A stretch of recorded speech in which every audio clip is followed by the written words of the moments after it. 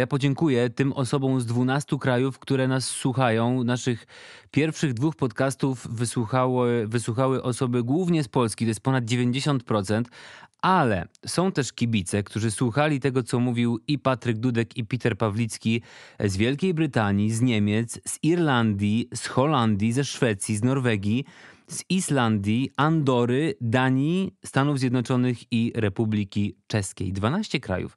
E, także bardzo dziękujemy, a skoro tak, to jedziemy dalej.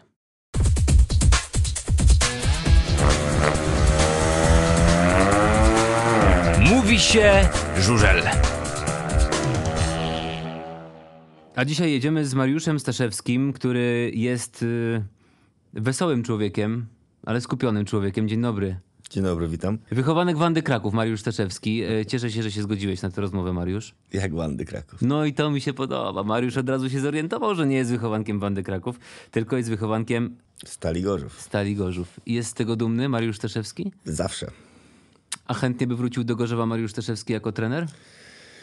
Puh, Zaczynają jest, się schody, to jest trudne pytanie. Zobaczymy, to czas pokaże. Myślę, że, że to samo wyjdzie w praniu z czasem. Mariusz, ja oglądałem prezentację y, Ostrowi i powiem szczerze, byłem trochę zaskoczony tą sensacją, że ty jednak y, byłeś ogłoszony jako taki nie do końca byli wszyscy pewni, czy ty będziesz w tym Ostrowie znowu trenerem, czy nie będziesz. Tam był jakiś, tam było jakieś drugie dno, czy Było, było, bo gdzieś tam do samego końca praktycznie się ważyło, czy, czy zostanę w Ostrowie.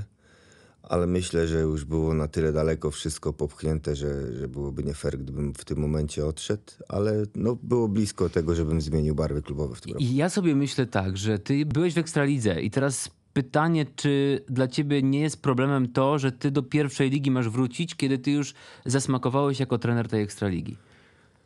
No, na pewno to zabolało nie tylko mnie, bo, no bo tak chcieliśmy po cichu, liczyliśmy, że może jakimś cudem to się uda, chociaż wiedzieliśmy, że to jest e, bardzo trudne zadanie utrzymanie tej drużyny w Ekstralidze. Czy to jest... Myślę, że nie. Myślę, że nie. Mogłem być, jeśli bym chciał, mogłem zostać w Ekstralidze, ale postanowiłem... Myślę, że też nieładnie by to było, gdy, gdy, gdyby gdzieś tam po spadku zaraz się ewakuować i zostać e, trenerem w innej drużynie ekstraligowej. Ale wiesz, że kto ma miękkie serce, to ma twarde, coś innego. Wiem, no ale muszę się może przekonać jeszcze raz po tym, o tym jeszcze raz w życiu, żeby, żeby się nauczyć. Chociaż jak do tej pory się nie nauczyłem, to już się pewnie nie nauczę. Ile miałeś propozycji z Ekstraligi? Dwie. Dwie. Powiesz jakich, z jakich klubów? Nie.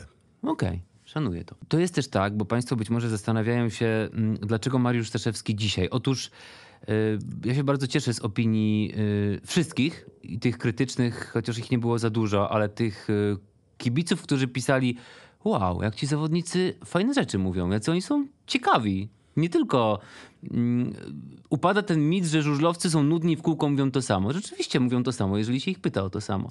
Ale mm, coraz więcej kibiców pyta, kiedy i czy usłyszymy byłych żużlowców i trochę pogadamy o tym, jak ta transformacja w żużlu się dokonuje i jak ta zmiana wygląda. No to właśnie dlatego dzisiaj Mariusz Staszewski, między innymi.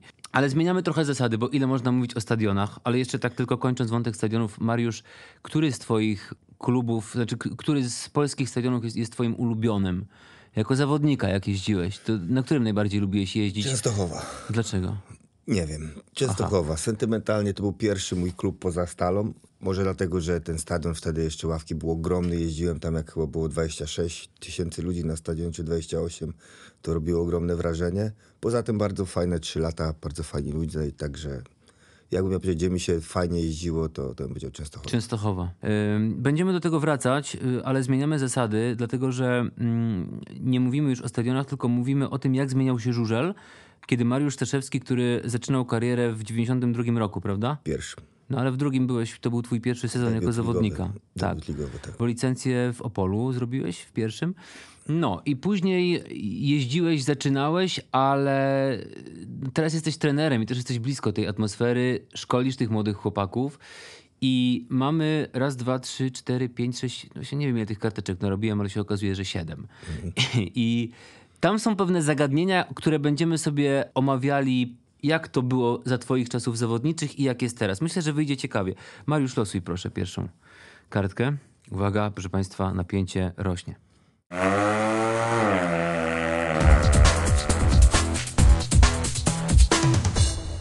Media. Media, czyli tak zwane śro- środki społecznego przekazu. Porównać to, tak? Jak to było kiedyś, jak to jest teraz. Tak, za twoich czasów to telewizji, transmisji Zależy za telewizyjnych. których moich czasów. Za tych pierwszych, czyli za czasów gorzowskich. Za czasów gorzowskich. To już za czasów gorzowskich były transmisje w Polsacie na żywo przecież. No to ty już byłeś seniorem wtedy. Nie. Jeszcze Nie, byłeś nie, juniorem i nie. Polsat to pokazywał? Tak, jeszcze byłem juniorem, jak w Polsacie. To myślę, że Polsat to był gdzieś od 94-5 roku. Ale oni tego na żywo nie pokazywali. Ale było w Polsacie tam Retransmisje 20, czy były. 21 czy 22 jakoś mecze zawsze były wieczorem. Ty byłeś juniorem i Robert Flis, czy kto jeszcze wtedy był obok ciebie? Robert Lis, y, Sylwek Moskwiak, Paweł Nizioł, to były tamte czasy i to wtedy były transmisje na Polsacie na I co, 100%. jarałeś się, że jesteś w telewizji wtedy? No, pewnie, że tak. To wtedy było takie nowe coś dla nas. Chociaż e, no inaczej to zupełnie wyglądało niż teraz jest. Teraz jest na pewno profesjonalizacja i to wszystko no, wygląda dużo, dużo lepiej. Ale ciekawie było. Na pewno ciekawe. To były takie pierwsze transmisje. A ty jak na przykład do wywiadu cię brali, rzadko cię brali do wywiadu. Brali. I co wtedy, denerwowałeś się? Nie, no bo to chłopak, człowiek już jest przyzwyczajony do tego mikrofonu i kamer od No ale dziecka. wtedy jak byłeś juniorem jeszcze? No, ale to wtedy jak był, to miałem 19 czy 20 lat, to już taki starszy junior. Wiadomo, że te pierwsze, pierwsze lata, jak masz 16, 17, to cię takie rzeczy denerwują, a później to przywykasz do tego. No, czasami się jąkasz, wiadomo, jak jest trema, ale, ale już myślę, że w tym czasie, jak był Polsat, to już byłem raczej oswojony z tym. No dzisiaj często żużlowcy się irytują na przykład, że a tam pytają właśnie, w trakcie wyrywają, trzeba iść. Na ten pierwszy ogień najczęściej to jest tak, że juniorów się bierze. Mówię o meczu ligowym w Ekstralidze dzisiaj, znaczy w tym sezonie na przykład, że no, seniorzy nie bardzo chcą w tych, pierwszych, w, ty, w tych pierwszych przerwach, bo tam wiadomo, trzeba dużo zmieniać, trzeba pracować, być skoncentrowanym dopiero To jest później. trudne. Mhm. To jest trudne. No w, ja też szczerze powiem, nie lubiałem tego w czasie zawodów. Też niektórzy mówili, że to gdzieś tam przynosi pecha, że się gwiazdorzy, takie były tendencje. No ale wszyscy teorie. wiedzieli, że do ciebie proszę, przecież, że nie... No ale tak to, tak to gdzieś tam było i ja szczerze powiedziawszy też nie lubiłem w trakcie zawodów. Lubiłem przed, wolałem przed lub wolałem po niż między biegami, bo zazwyczaj to jeszcze jest tak, że dobrze szło, gdzieś tam coś powiedziałeś, parę słów i, i zaraz się to przywitało zerem i, i tak to się kończyło. Także no też tego nie lubiłem w czasie zawodów. Ale to dobrze, że takie zmiany są, że taka jest ta telewizja, która dzisiaj tak naprawdę... Dobrze, dobrze, dobrze to wygląda, dobrze to jest pokazywane, ładnie to jest opakowane. Ty masz fajne dobrze. spojrzenie, bo z pierwszej ligi, gdzie już transmisje telewizyjne y, u was gościły w Ostrowie, Mhm. do Ekstraligi, gdzie to się różni, ta transmisja telewizyjna, to życie telewizyjne takie w trakcie meczu w pierwszej lidze do tego w Ekstralidze? Tak, jest to wszystko bardziej e, podkręcone, może tak to powiedzmy. Że I- tempo większe? i tempo większe, i- no i te parkingi, i te ścianki, i zasady, i reguły.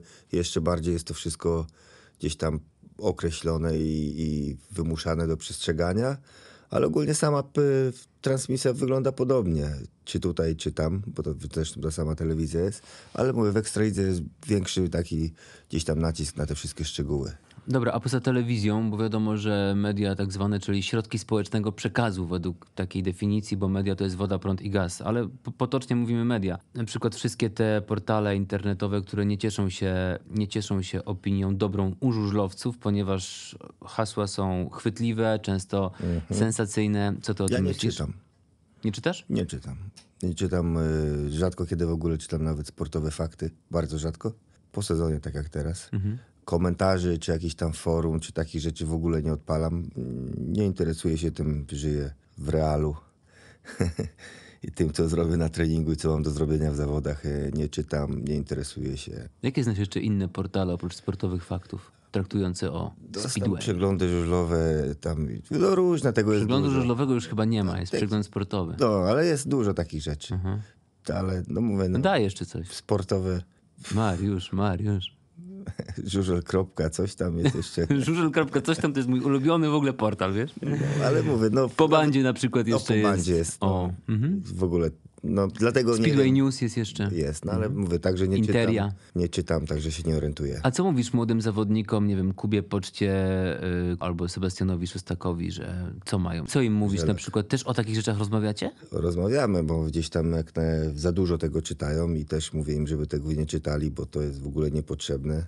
No ale się interesują. No dziwisz się młodym No ludziom, nie którzy się interesują. się, ale Ty, wiadomo, że jak to jest. Jak ktoś, ktoś jest anonimowy, to zawsze łatwiej jest rzucić kamieniem i, i tych negatywnych komentarzy jest dużo, dużo więcej jak pozytywnych, a to niczego nie wnosi do ich kariery, jeśli oni będą o tym wiedzieli, czy będą to czytali, czy, czy więcej ludzi gdzieś tam ich głaska, czy, czy pluje. To nie gra, żadnego wpływu nie ma na to, jakimi zawodnikami zostaną, także jest to niepotrzebne im do niczego, żeby to czytali. To znaczy wpływ, wpływ może na nich mieć, jeżeli to będą czytać. Tak jest, negatywne. A jak myślisz, w którym kierunku, bo ja tak się czasem nad tym zastanawiam, mm, w którym kierunku to pójdzie? Myślisz, że te portale znikną, przestaną pisać, inaczej będą pisać? Myślę, że nie. Chyba, że jakoś prawnie będzie to uregulowane, że, że gdzieś tam będzie można ponieść za to konsekwencje. Do mnie też doci- docierają, czy nie tak, że ja nie znam tych opinii, bo docierają do mnie, bo, bo wszyscy dookoła mnie czytają i przychodzą i to mówią. Ale to Mariusz nagadałeś. Albo, ale tam o tobie nagadali Albo tak, najczęściej. no, no i co? E, ale nie, myślę, że nie, nie będzie. Na razie przynajmniej nie widzę, żeby to coś się zmieniło. Jest tak, jak jest. Poza tym widać, że żużel jest taką dyscypliną, gdzie tych komentarzy jest dużo więcej jak w każdej innej dyscyplinie, nawet jak w piłce nożnej. E, I zazwyczaj są to negatywne. No, co, jaki mam na to wpływ? To jest jak jest i tyle. No ale wiesz, że to działa w dwie strony, bo to ma też swoje dobre strony, dlatego że jeżeli chodzi o promocję klubu, treści różnego rodzaju, to chociażby wykazuje się w różnych takich opracowaniach ma- marketingowych, że tyle i tyle tekstów powstało na temat na przykład Ostrowi w twoim przypadku. No pewnie, że zdaję sobie z tego sprawę. Ja też y, wiem, że tak jest i na każde zawołanie dziennikarzy staram się stawić i gdzieś Dlaczego nam nie swoje- pokazujesz ręką? swoje zdanie powiedzieć na jakiś temat, ale to nie znaczy, że, że muszę wszystko też czytać i wiedzieć, bo to niekoniecznie musi mi pomóc. Czyli to, co się wydarzyło w tak zwanych mediach, ten postęp oceniasz per saldo dobrze czy źle? Dobrze. Dobrze. Myślę, że dobrze. Okej. Myślę, że jak to jest dużo, dużo sprawą medialną i, i nawet te rzeczy, które są negatywne, ale to jak kiedyś nasz były prezes tu wstali mówił, nieważne jak mówią, oby nazwiska nie przekręcali. Który prezes tak mówił?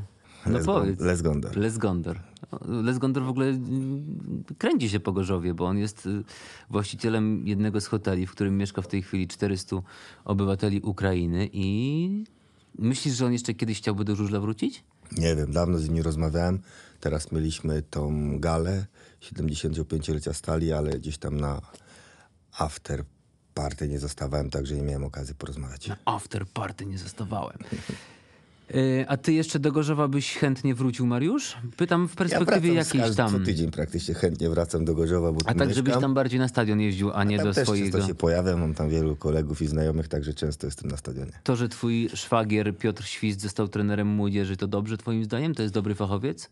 Pff, nie wiem, ciężko jest mi powiedzieć. No, w, Piotr jeszcze nie pracował. Pracował w Pile, ale krótko, także nie miał okazji gdzieś tam przeprowadzić kogoś przez tyle lat, żeby doprowadzić od A do Z kogoś do licencji. E, myślę, że nowa krew to zawsze trochę dobrze robi takiej świeżości i to zobaczymy. Ciężko jest powiedzieć, bo, bo Piotr Paluch też jest moim dobrym kolegą i No. ciężko jest mi mówić, że to wyjdzie stali na dobre czy na złe. Jest to zmiana, a czy na dobre to się okaże. A wy macie kontakt z Piotrkiem Świstem częsty? Ze swoim szwagrem? Mamy kontakt. Bo przypomnijmy, że y, pani Mirella Świst jest twoją siostrą. Tak, Starszą czy młodszą? starszą. Jak ty przyjąłeś to, że Piotrkowi się tak mocno oberwało medialnie za to, że kiedyś w określonych okolicznościach podczas prezentacji, odcho- kiedy odszedł z Gorzowa do Zielonej Góry, na pytanie prowadzącego taką prezentację, ja nawet nie wiem, który to był rok, ale to było z naście lat temu. 2006, bo ja byłem na tej prezentacji, ja też wtedy szedłem do falubazu. Mhm. I on zapytany został, jak się czuje w Zielonej Górze. Odpowiedział, jak stuprocentowy falubas, no bo przecież ciężko, żeby powiedział, jak 68% falubas. Nie chciałbym, komentować tego. Okej. Zapraszałem w ogóle Piotra, tu też tutaj, żeby nie we trójkę, ale żebyśmy osobno pogadali. To mówi chętnie, ale jeszcze nie. Przyjdzie czas. Dobrze. To przychodzi czas, Mariusz, na kolejny y, los. Mamy teraz sprzęt. Sprzęt. No, powiem ci, że sprzęt to się prawie w ogóle nie zmienił. No zmienił się sprzęt, zmienił się straszny sprzęt. Jak e, przychodziłem do szkółki w 88, to, to, to jeszcze były no, szroty takie, które ledwo co jeździły. Jeden motor na pięciu był, Na 50. na pięćdziesięciu. Pamiętam, że jak był nabór, to było 100 osób podzielone na dwie grupy. Już wtedy e, Stanisław Chomski chciał się troszkę odsunąć od szkółki i dwóch instruktorów było. Jedną grupę miał Jarek Gała, drugą e, Krzysztof Grzelak. No i to pamiętam, że selekcja była ogromna i część ludzi nawet nie docierała do tego, żeby usiąść na motocyklu żużlowym, tylko od razu na Simpsonie gdzieś tam był e, odpał. No, jeśli chodzi o sprzęt, no rosłem razem z tym sprzętem. Jeździłem na dwuzaworówce, na czterozaworówce, później jeździłem na motocyklach z silnikami stojącymi. Później weszły leżaki, to, to już było rewolucja. Ale na Wesleyce nie jeździłeś. Nie, nie miałem okazji, nie miałem No. okazji. Mariusz jest 75 rocznik, młody chłopak. tak, No. chciałbym być. Dobra, i twój pierwszy motocykl to, był, to były stojaki ze stojącym silnikiem jawy. Tak, pierwszy mój motocykl to był mój taki, który miałem tylko dla siebie, bo wiadomo, że w szkółce to jest tam kilkunastu czy kilkudziesięciu do jednego motocykla. No to była jawa taka zwana pejotka, e, model Pera Johnsona e, jawy, jeszcze z otwartym obiegiem oleju i wtedy właśnie był ten zapach tego żużla prawdziwego, bo ten olej leciał na tor spalony i to wtedy tak pięknie pachniało, teraz już tego nie ma. Ale zdarza się czasem, że ta mieszanka jeszcze pachnie tak, zwłaszcza jak jest y, zimą, znaczy wczesną wiosną, kiedy pierwsze jazdy Ale są, to na, na pewno nie w takim wymiarze, bo to, bo to ten olej, który wylatywał na, na tor, to on spalony, to on taki zapach dawał. Teraz tego oleju nie ma, jak są przecieki, to są minimalne, dlatego te zapachy też są mniejsze. Tęsknisz za tymi czasami? Starymi? No pewnie urok to jakiś swój miało, tak? Chociaż dzisiaj wolałbym jeździć dzisiaj na żużlu i, i przy tych, yy, no nie ukrywajmy, pieniądzach, jakie są dzisiaj. A tam było zupełnie inaczej. Byliśmy, w, niby już byliśmy na kontraktach zawodowych, ale tak naprawdę to była taka trochę amatorka. Mechanicy to byli jacyś koledzy tam ze szkoły, troszkę poduczeni, czy tam koledzy ze szkółki i, i tak to wyglądało. Bo nikogo z nas wtedy naprawdę nie było stać na to, żeby zatrudnić sobie mechanika na pełen etat. To było takie nie do pomyślenia, a, gdzie dwóch, trzech czy czterech nawet mieć. Bartek z Marzik opowiadał mi, jak Tony Rickardson z nim rozmawiał, że dzisiaj ten sprzęt to tak jak kiedyś granica błędu to była taka dobry metr, tak obrazowo, tak dzisiaj ta granica błędu jest centymetr. No to, to jest. No, tutaj wszystko, cały pies jest pogrzebany z tym, że ten zawodnik, ten, który się prędzej dopasuje, ten wygrywa tak naprawdę. Wiadomo, że jest taki zawodnik jak Bartek, który dużo potrafi nadrobić sobą, e, ale tak naprawdę sprzęt jest bardzo wyrównany na bardzo wysokim poziomie, ale bardzo wyrównany jest ogólnie dostępny i, gdzieś tam ci, którzy czują ten motocykl najbardziej i potrafią jak najszybciej wyciągać wnioski i dopasowywać go do, do warunków torowych, ci wygrywają. O co chodziło z Tonym Rickardsonem i dlaczego miał taką przewagę sprzętową? Wtedy to było nieosiągalne, żeby taka dostępność sprzętu, jaka dzisiaj jest dla zawodników z Polski, y, po prostu kiedyś, tak, kiedyś było to nieosiągalne? Nie, on dużo innowacji wprowadzał takich, zarówno jeździeckich, jak się na niego patrzało, to gdzie on zamykał gaz i, i y, jak długo ciągnął prostą, od takich rzeczy poprzez innowacje sprzętowe. Dużo bardzo kombinował. On pierwszy zaczął te motocykle giąć, żeby duży y, motocykl W jakim sensie motocykle giąć? Przestawiał pra- tylne koło do przedniego, żeby prostując motocykl prędzej tylne koło się całą oponą nastawiało do ziemi, do toru i żeby całą powierzchnią ciągnęło. A ty z nim jeździłeś w parze. Wahacze, tak, wahacze, haki, no w takich strasznie dużo rzeczy on wprowadzał nowych. On miał też kołpak z przodu, pamiętam. Miał, ale to się, to się nie, nie przyjęło. Nie tylko on miał, Hans Nielsen, chyba fabrycznie jawy. Nie, chociaż Tommy Knudsen też miał. Simon Wick w ogóle też miał taki, pamiętam, y, kołpak Ale to było coś takiego, że nawet chyba Tommy Knudsen obojczyk złamał, bo szpryca ścięła mu przednie koło, upadł na lewe barki, złamał obojczyk i myślę, że to był taki moment, gdzie przestano używać tego. I jeszcze a propos kombinowania z kołami, to pamię pamiętasz taki myk Antonio Lindbecka, jak on takie małe kółeczko z przodu Tak, instalował? w tak, Rybniku tak. wtedy jeździł. W ogóle wiadomo, o co wtedy chodziło? No, Środek ciężkości miał być inny, ale nie zdał egzaminu. A jakie znasz jeszcze takie myki, które niekoniecznie widać z trybun, a które są stosowane w motocyklach? O, to takich jest no, bardzo dużo, jak skracanie, wydłużanie motocykli. Myślę, że to w ogóle na to nikt nie... Jest strasznie dużo rzeczy, tylko że dzisiejszy jest sport taki, że trzeba wszystko trafiać w punkt. Kiedyś było tam, że jak się pomyliłeś troszkę, to, To jakoś to szło. I to jest to, o czym mówił Tony Rickardson teraz, że, że masz dobry, dobry A metr. teraz od długości motocykla przez nawet oponę, przez powietrze, ilość tego powietrza, przez dyszę, zapłon. Już nie mówię o samym silniku, który gdzieś tam też, których dzisiaj zawodnicy mają straszne ilości, żeby to do każdego toru długości i przyczepności dopo- mniej dopasowywać niż, niż tak jak za moich czasów, że mieliśmy, zawsze była hierarchia, był najlepszy silnik, którym jeździło się tak długo, aż starczało kompresji i dopiero jak szedł na remont, to się używało drugiego czy trzeciego. Kiedyś tak to wyglądało. A jaką ty miałeś relację z Tonym Rickardsonem? Bardzo dobrą. Bardzo dobrze go wspominam. E, Jeździliśmy razem w Gorzowie, jeździliśmy razem w Pól. Bardzo sympatyczny człowiek, mimo to, że najbardziej tytułowany zawodnik e, świata. No, sześciokrotny mistrz świata, no to jest Tak obok jest. Iwana Mołgera, no to jest... Top. Bardzo dobre, bardzo fajnie, bardzo mile wspominam y, kontakty z nim. Ale on ci też na przykład zdradzał pewne rzeczy, tajniki? Czy to jest tak, że on przyjeżdżał tam, dzień dobry panie Tony, tam po angielsku dobrze sobie już wtedy radziłeś? Tak, jedyny chyba w Gorzowie wtedy, co, co z Billim Hamilem, później z Tonym Ricardsonem rozmawiał. Nie, Piotrek jeszcze rozmawiał. Aha. Znaczy z początku, myślę, że z początku bardzo żałowałem jak Billy Hamil odszedł, bo z nim miałem tutaj fajny kontakt. Y, No a Tony przyszedł, to już był wtedy były mistrz świata, bo Billy zdobywał, W siódmym przed, w 97 Tony przed, prawda? no to był Billy. Billy Hamil był mistrzem świata w 97 jakby jeździł w stali, a Tony przyszedł później. Tony przyszedł y, w, Nie no, Tony przed w siódmym. nie, później przyszedł. Albo nie, dobrze mówisz. Ja mówię w siódmym, siódmym, no. I on był mistrzem świata w 94. Tak.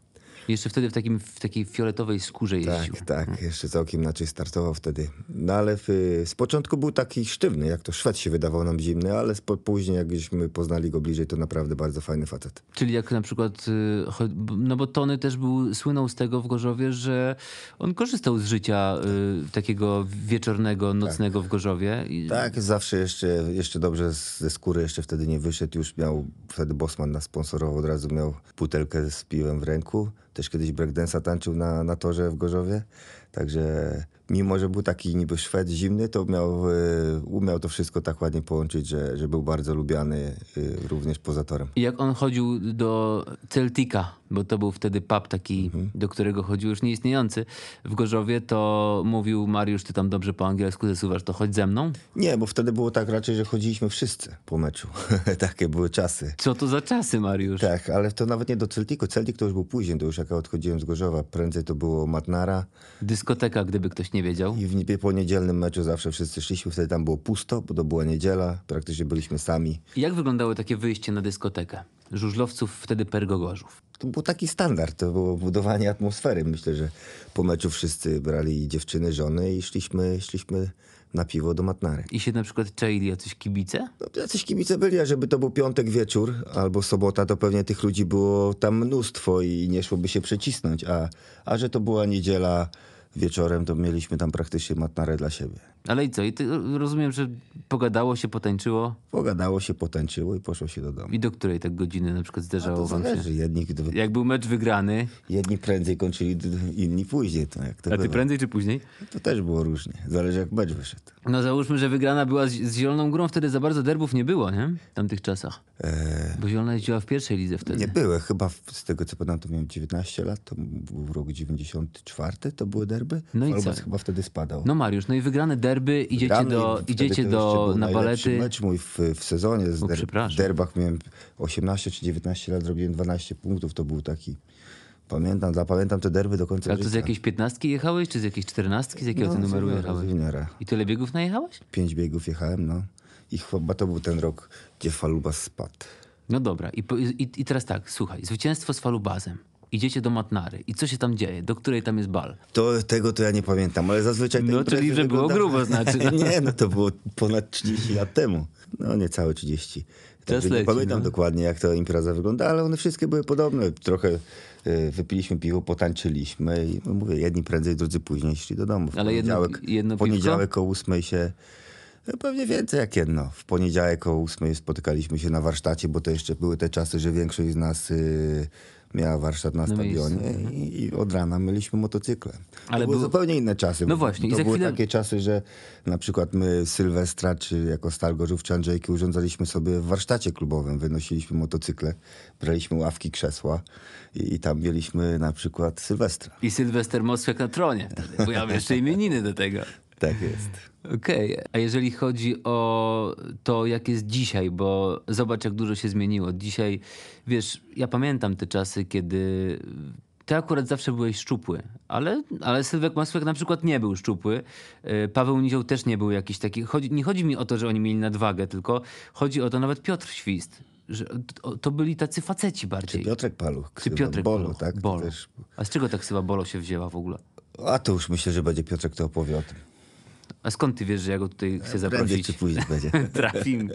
No dobra, i, i, i teraz zobacz, że to było normalne. Faceci, wiesz, no w barkach szersi i tak dalej, yy, piwko wypili, spoko, pobawili się. A dzisiaj, no z Patrykiem ostatnio Dudkiem Nie rozmawialiśmy, no tylko to na polskim rynku, bo był Joe Screen, przecież też miał on był rzeczywiście taka, taka postury, był zupełnie innej.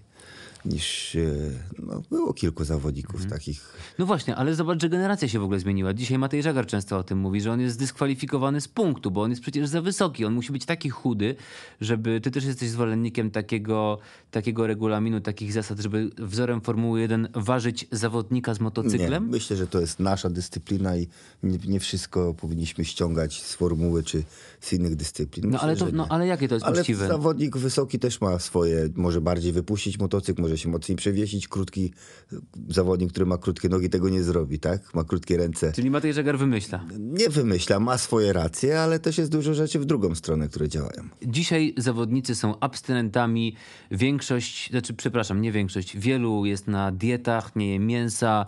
Yy, odżywianie mają takie, żeby zjeść tylko tyle, ile energii potrzebuje, żeby do, w tym meczu wystąpić. Dobry, w, dobrym to kierunku Nie poszło? wiem, czy to jest dobre, czy złe, no ale tak jest. To jest na tyle profe- profesjonalizacji w tej sporcie, w każdym sporcie, nie tylko w tym, że no, ten, kto chce coś osiągnąć, to musi tak robić i innej drogi nie ma i nie wiem, czy to jest dobre, czy to jest złe, to jest ciężko powiedzieć. No po prostu tak jest i trzeba się przyzwyczaić i, i robić tak, jak robią najlepsi. A miewasz takich y, wychowanków, chłopaków, którzy podchodzą do licencji albo są już po licencji, którzy mają tendencję do tycia i, i co się wtedy robi? No trzeba rozmawiać. Chociaż akurat nie mam tutaj takich problemów wielkich. Y, Albo słuchają. Y, Największy wiadomo, że problem zawsze mają ci wysocy, ale to już gdzieś tam od jak przychodzi wieku lat 12, to mówię, że jeśli chcesz być w tej dyscyplinie, no to, to czeka cię 20 lat o trawie i wodzie, albo nic z tego nie będzie. No i skąd wtedy mają siły brać? Zazwyczaj ci, którzy mają motywację do tego, żeby jeździć, to nie mają z tym problemu, a ci, którzy tej motywacji nie mają, to po prostu ich przygoda się kończy szybciej. A ty na przykład, y, nie pytam o nazwiska teraz, ale zdarzało ci się, że na przykład któryś zawodnik coś przed tobą ukrywał, mówił o młodych chłopakach, albo w ogóle o twoich podopiecznych, i, a ty widziałeś, że coś jest nie halo? No pewnie, że widać takie rzeczy, bo znam ich od dzieciaka, także od razu widać. Niektórzy nie chcą mówić, ale prędzej czy później i tak gdzieś to tam wychodzi i, i mamy poważne rozmowy. E, Ale co, że, że wydolnościowa wtedy na przykład widzisz, że gdzieś tam na, na badaniach to wychodzi, czy, czy już na przykład podczas sezonu na torze? nie, podczas treningu nawet e, ogólnorozwojowych widzę. No a jeśli któryś się zaokrągli, no to tym bardziej szybko widać, bo to wiadomo, że nie widzimy tego tak od razu, bo jak się na co dzień jest, to tak tego nie widać, ale, ale po jakimś czasie wychodzi. To jeszcze ten sprzęt dokończmy, dlatego że sprzęt wiemy, że się mocno zmienił. Dzisiaj ten pęd jest bardzo duży. To jest tak, że trzeba być y, wazeliniarzem w stosunku do tunerów, żeby mieć u nich chody i żeby oni cię gdzieś tam... Ja mówię o tych takich mitach, które krążą, to jest prawda? No jest kilku tunerów, do których się bardzo cię, cięż, ciężko dostać e, i tak naprawdę przetarciem jest nazwisko. Jak już gdzieś tam coś po, po, pokażesz, to, to cię przyjmą. Do części jest troszkę łatwiejszy dostęp. Ciężko jest mi powiedzieć, bo tak naprawdę z tymi, z którymi wiem, że będzie mi się ciężko, czy tam by sprawy niemożliwe współpracować, to nawet się nie staram, bo, bo wiem, że nie mam żadnego dojścia a z tymi, z którymi współpracuję, mam dobry kontakt, nie mam tutaj problemu. A wiem, że jeśli któryś z zawodników chce iść na przykład do danego tunera, a tuner ma, ma dużo roboty, to go nie przyjmie i jest problem. Dlatego Mhm. A wydaje twoje nazwisko się- też działa, że na przykład Mariusz dzwonisz do... Zależy u kogo. Zależy u kogo. No wiadomo, że jak dzwonię do tunera, z którym nigdy nie współpracowałem, no to te drzwi są zamknięte tak jak dla każdego. No ale on cię musi znać. No, skoro zna środowisko, musi ciebie znać też. No tak, ale no i co takiemu topowemu tunerowi ja dzisiaj mogę zaproponować współpracę z juniorami, no to no nie bardzo jest No tak. zainteresowany. Wiesz co, Mariusz, jeszcze chciałem, bo o tym sprzęcie nie chcę za długo rozmawiać, dlatego że tych analiz, tego wszystkiego jest bardzo dużo, a ja też nie wiem, czy kibice są aż tak bardzo zajarani tym, czy ty jeździsz na silniku od tego tunera, czy od tamtego, czy jeszcze innego. Ale o busy cię chcę zapytać, bo ty, to, ty jeździłeś czym? Transitem kiedyś, czy co ty miałeś za furę? E, tak, pierwszym moim busem, pierwsze moje busy chyba ze cztery to były tranzyty. Wszyscy wtedy jeździli transitami. Tak, prawie. teraz sprint, sprinterami to była moda wtedy. Najpierw miałem małego, później coraz większe, aż do największego. Już też były robione u, u, gdzieś tam u tych samych ludzi, których dzisiaj są robione te samochody, także były przerabiane przez y, podżurzel. No, Miałeś, bo ty nie miałeś jakiegoś takiego, miałeś oklejony typu Mariusz Staszewski Racing Team albo jakiś tam inny racing? Miałem no i miałem, e, w początku to była taka moda, że wszyscy mieli poobklejane bardzo mocno te busy. Później gdzieś tam tonowaliśmy to, że, że coraz mniej tego, później w ogóle się nazwiska nie kleiło, tylko reklamy sponsorów, żeby było. Grawgas miałeś, pamiętam, nie? Miałem z Międzyrzecza. Tak, świętej pamięci Zbigniew Rosolak zmarł w tym roku. Przez wiele, wiele lat mnie sponsorował. Nawet w momencie, kiedy odchodziłem z Gorzowa, to zawsze ze mną zostawał. On też tam Tomka Bajerskiego chyba miał u Tak, siebie, nie? tak, tak. Y, I, a w busie miałeś, w tym tranzycie od początku miałeś łóżko, czy tam na przykład kimałeś gdzieś tam, nie wiem, na, na, na, Na pierwszych, kanapie? na, w pierwszych dwóch nie, w pierwszych miałem fotele, zwykle nie było to tak przerabiane. Pierwsze dwa samochody to, no, to jeszcze sam sobie przerabiałem. To Czy ze szwagrem? Nie, jeszcze sam. Sam. On też sobie sam przerabiał, ja sobie sam przerabiałem. Aha. A już trzeciego busa dałem właśnie do, do Leszna, do Jacka Świeża. Już profesjonalnie zrobił łóżko, schowki, półeczki, także to już był wypas. A dzisiaj jak patrzysz na te, na te busy, które są w zasadzie w wyższym standardzie niż niejedna biznes klasa w niejednym samolocie?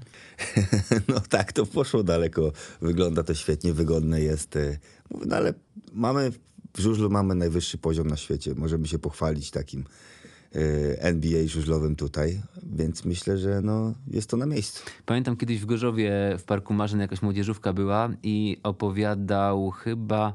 Ktoś opowiadał, nie wiem czy nie Piotr Pawlicki senior, o tym, że jakaś tam opowiadał historię, która gdzieś tam się wydarzyła na innym stadionie zupełnie, ale że mm, przyjechał Bartek z Marzlik busem z Pawłem. Wtedy Bartek już chyba jeździł i byli w szoku, jak się drzwi otworzyły i wyjechała jakieś własnej produkcji winda z tego busa, To pamiętam, specjalna że na skrzynki, że w ogóle oni byli, znaczy tata, e, pan Paweł z Marzlik, który zajmuje się serwisem butli gazowych, to on taki jest pomysłowy Dobromir chyba, tak? Tak, ale już tego nie mają. Gdzieś tam bardziej, e, bardziej poszli w tą stronę, taką przeróbek jak w stronę żużlową. No bo tych ciężarów też powiedzmy sobie nie masz takich, żeby tego samochodu nie załadować.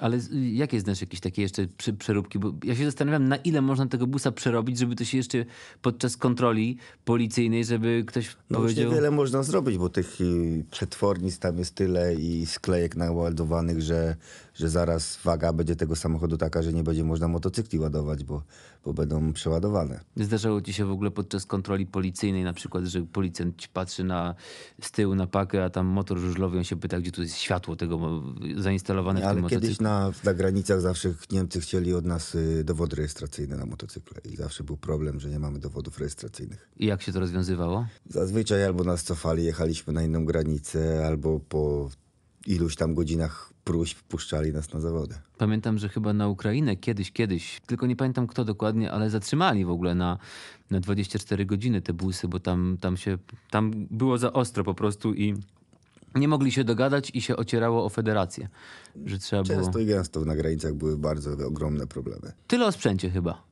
Chyba tak. Czy jeszcze masz jakieś, jakieś pragnienie sprzętowe, żeby tutaj Nie, się myślę, otworzyć? Nie. Myślę, że nie. A ty myślisz, że gdybyś na tych motocyklach, tak jak w tych warunkach, jak teraz zaczynał na takim sprzęcie, byłbyś w stanie więcej osiągnąć jako żużlowiec? Uff, Każdy z nas zawodników myśli, że jakby coś tam gdzieś tam w pewnym momencie ułożyło się inaczej, to, to mogłoby się potoczyć lepiej i tych sukcesów można byłoby mieć więcej. Ale tak, no widocznie miało być tak, jak było. Ten, kto miał jeździć, jeździł, obronił się, a ten, kto nie, to nie. Także pewnie, że gdybam sobie, że gdyby coś tam w tamtym albo w, w, innym roku było inaczej, to mogłoby to się dla mnie lepiej skończyć, ale myślę, że nie, że to, co miało być, to się stało i tyle. Bo ty jak odchodziłeś, Mariusz, yy, z Gorzowa, to nie miałeś takiego trochę... Co ty myślałeś o tym, że z Piotra Palucha zrobiono takiego bohatera? Yy, Władysław Komarnicki głównie tak o nim opowiadał, że to taki, że on tu za miskę zupy został, a ci to tam poodchodzili. Ty, jak ty to odbierałeś? Fuh. Bo ty odszedłeś do Zielonej Góry. Tak, wtedy. ale żeby było, to jeszcze trzeba, żeby odejść, to trzeba gdzieś odejść do lepszego klubu, bo iść do takiego samego lub gorszego, no to, no to siekierkę na kijek, tak? W tamtych czasach Stal miała ogromne problemy finansowe. Tak, powiedzmy sobie szczerze, że długów i także do nas zawodników było bardzo dużo. Ja miałem propozycję wtedy z kilku klubów. Gdzieś tam mówiłem się z wodarzami, że będę czekał na tą stal, y, ile będę tylko mógł. Tych ofert też mi się gdzieś tam nakruszyło, bo wiadomo, nie wszystkie kluby czekały do końca. I, te ekstraligowe wtedy mi się wymsknęły z rąk, a obiecałem, że będę czekał, że tam uzbierałem jakąś kwotę, nie pamiętam jaką pieniędzy dla mnie, żeby mi spłacić w części chociaż. Aha, ten twój przyszły niby klub miał spłacić... Nie, nie, nie, ze Stalą się mówiłem. Aha, w tym Że sensie. tam do któregoś tam, bo to wtedy była yy, jak to się nazywało, lista transferowa. No lista była, tak, ona była No, publikowana. Do 30 chyba do końca stycznia mogłeś podpisać kontrakt. To się Tak. mówiłem do któregoś tam stycznia ze Stalą, że jak uzbierają jakąś część zaległości, to zostaje, jak nie, to, to nie. No i część tych ofert mi się wycofała, bo wiadomo, że ekstraligowe kluby nie chciały sobie pozwolić na to, żeby czekać do końca i zostać bez zawodnika. I trafiłem do Rybnika wtedy, bo, bo gdzieś tam Stal się nie wywiązała z tego. Mhm. To losuj dalej, Mariusz, proszę.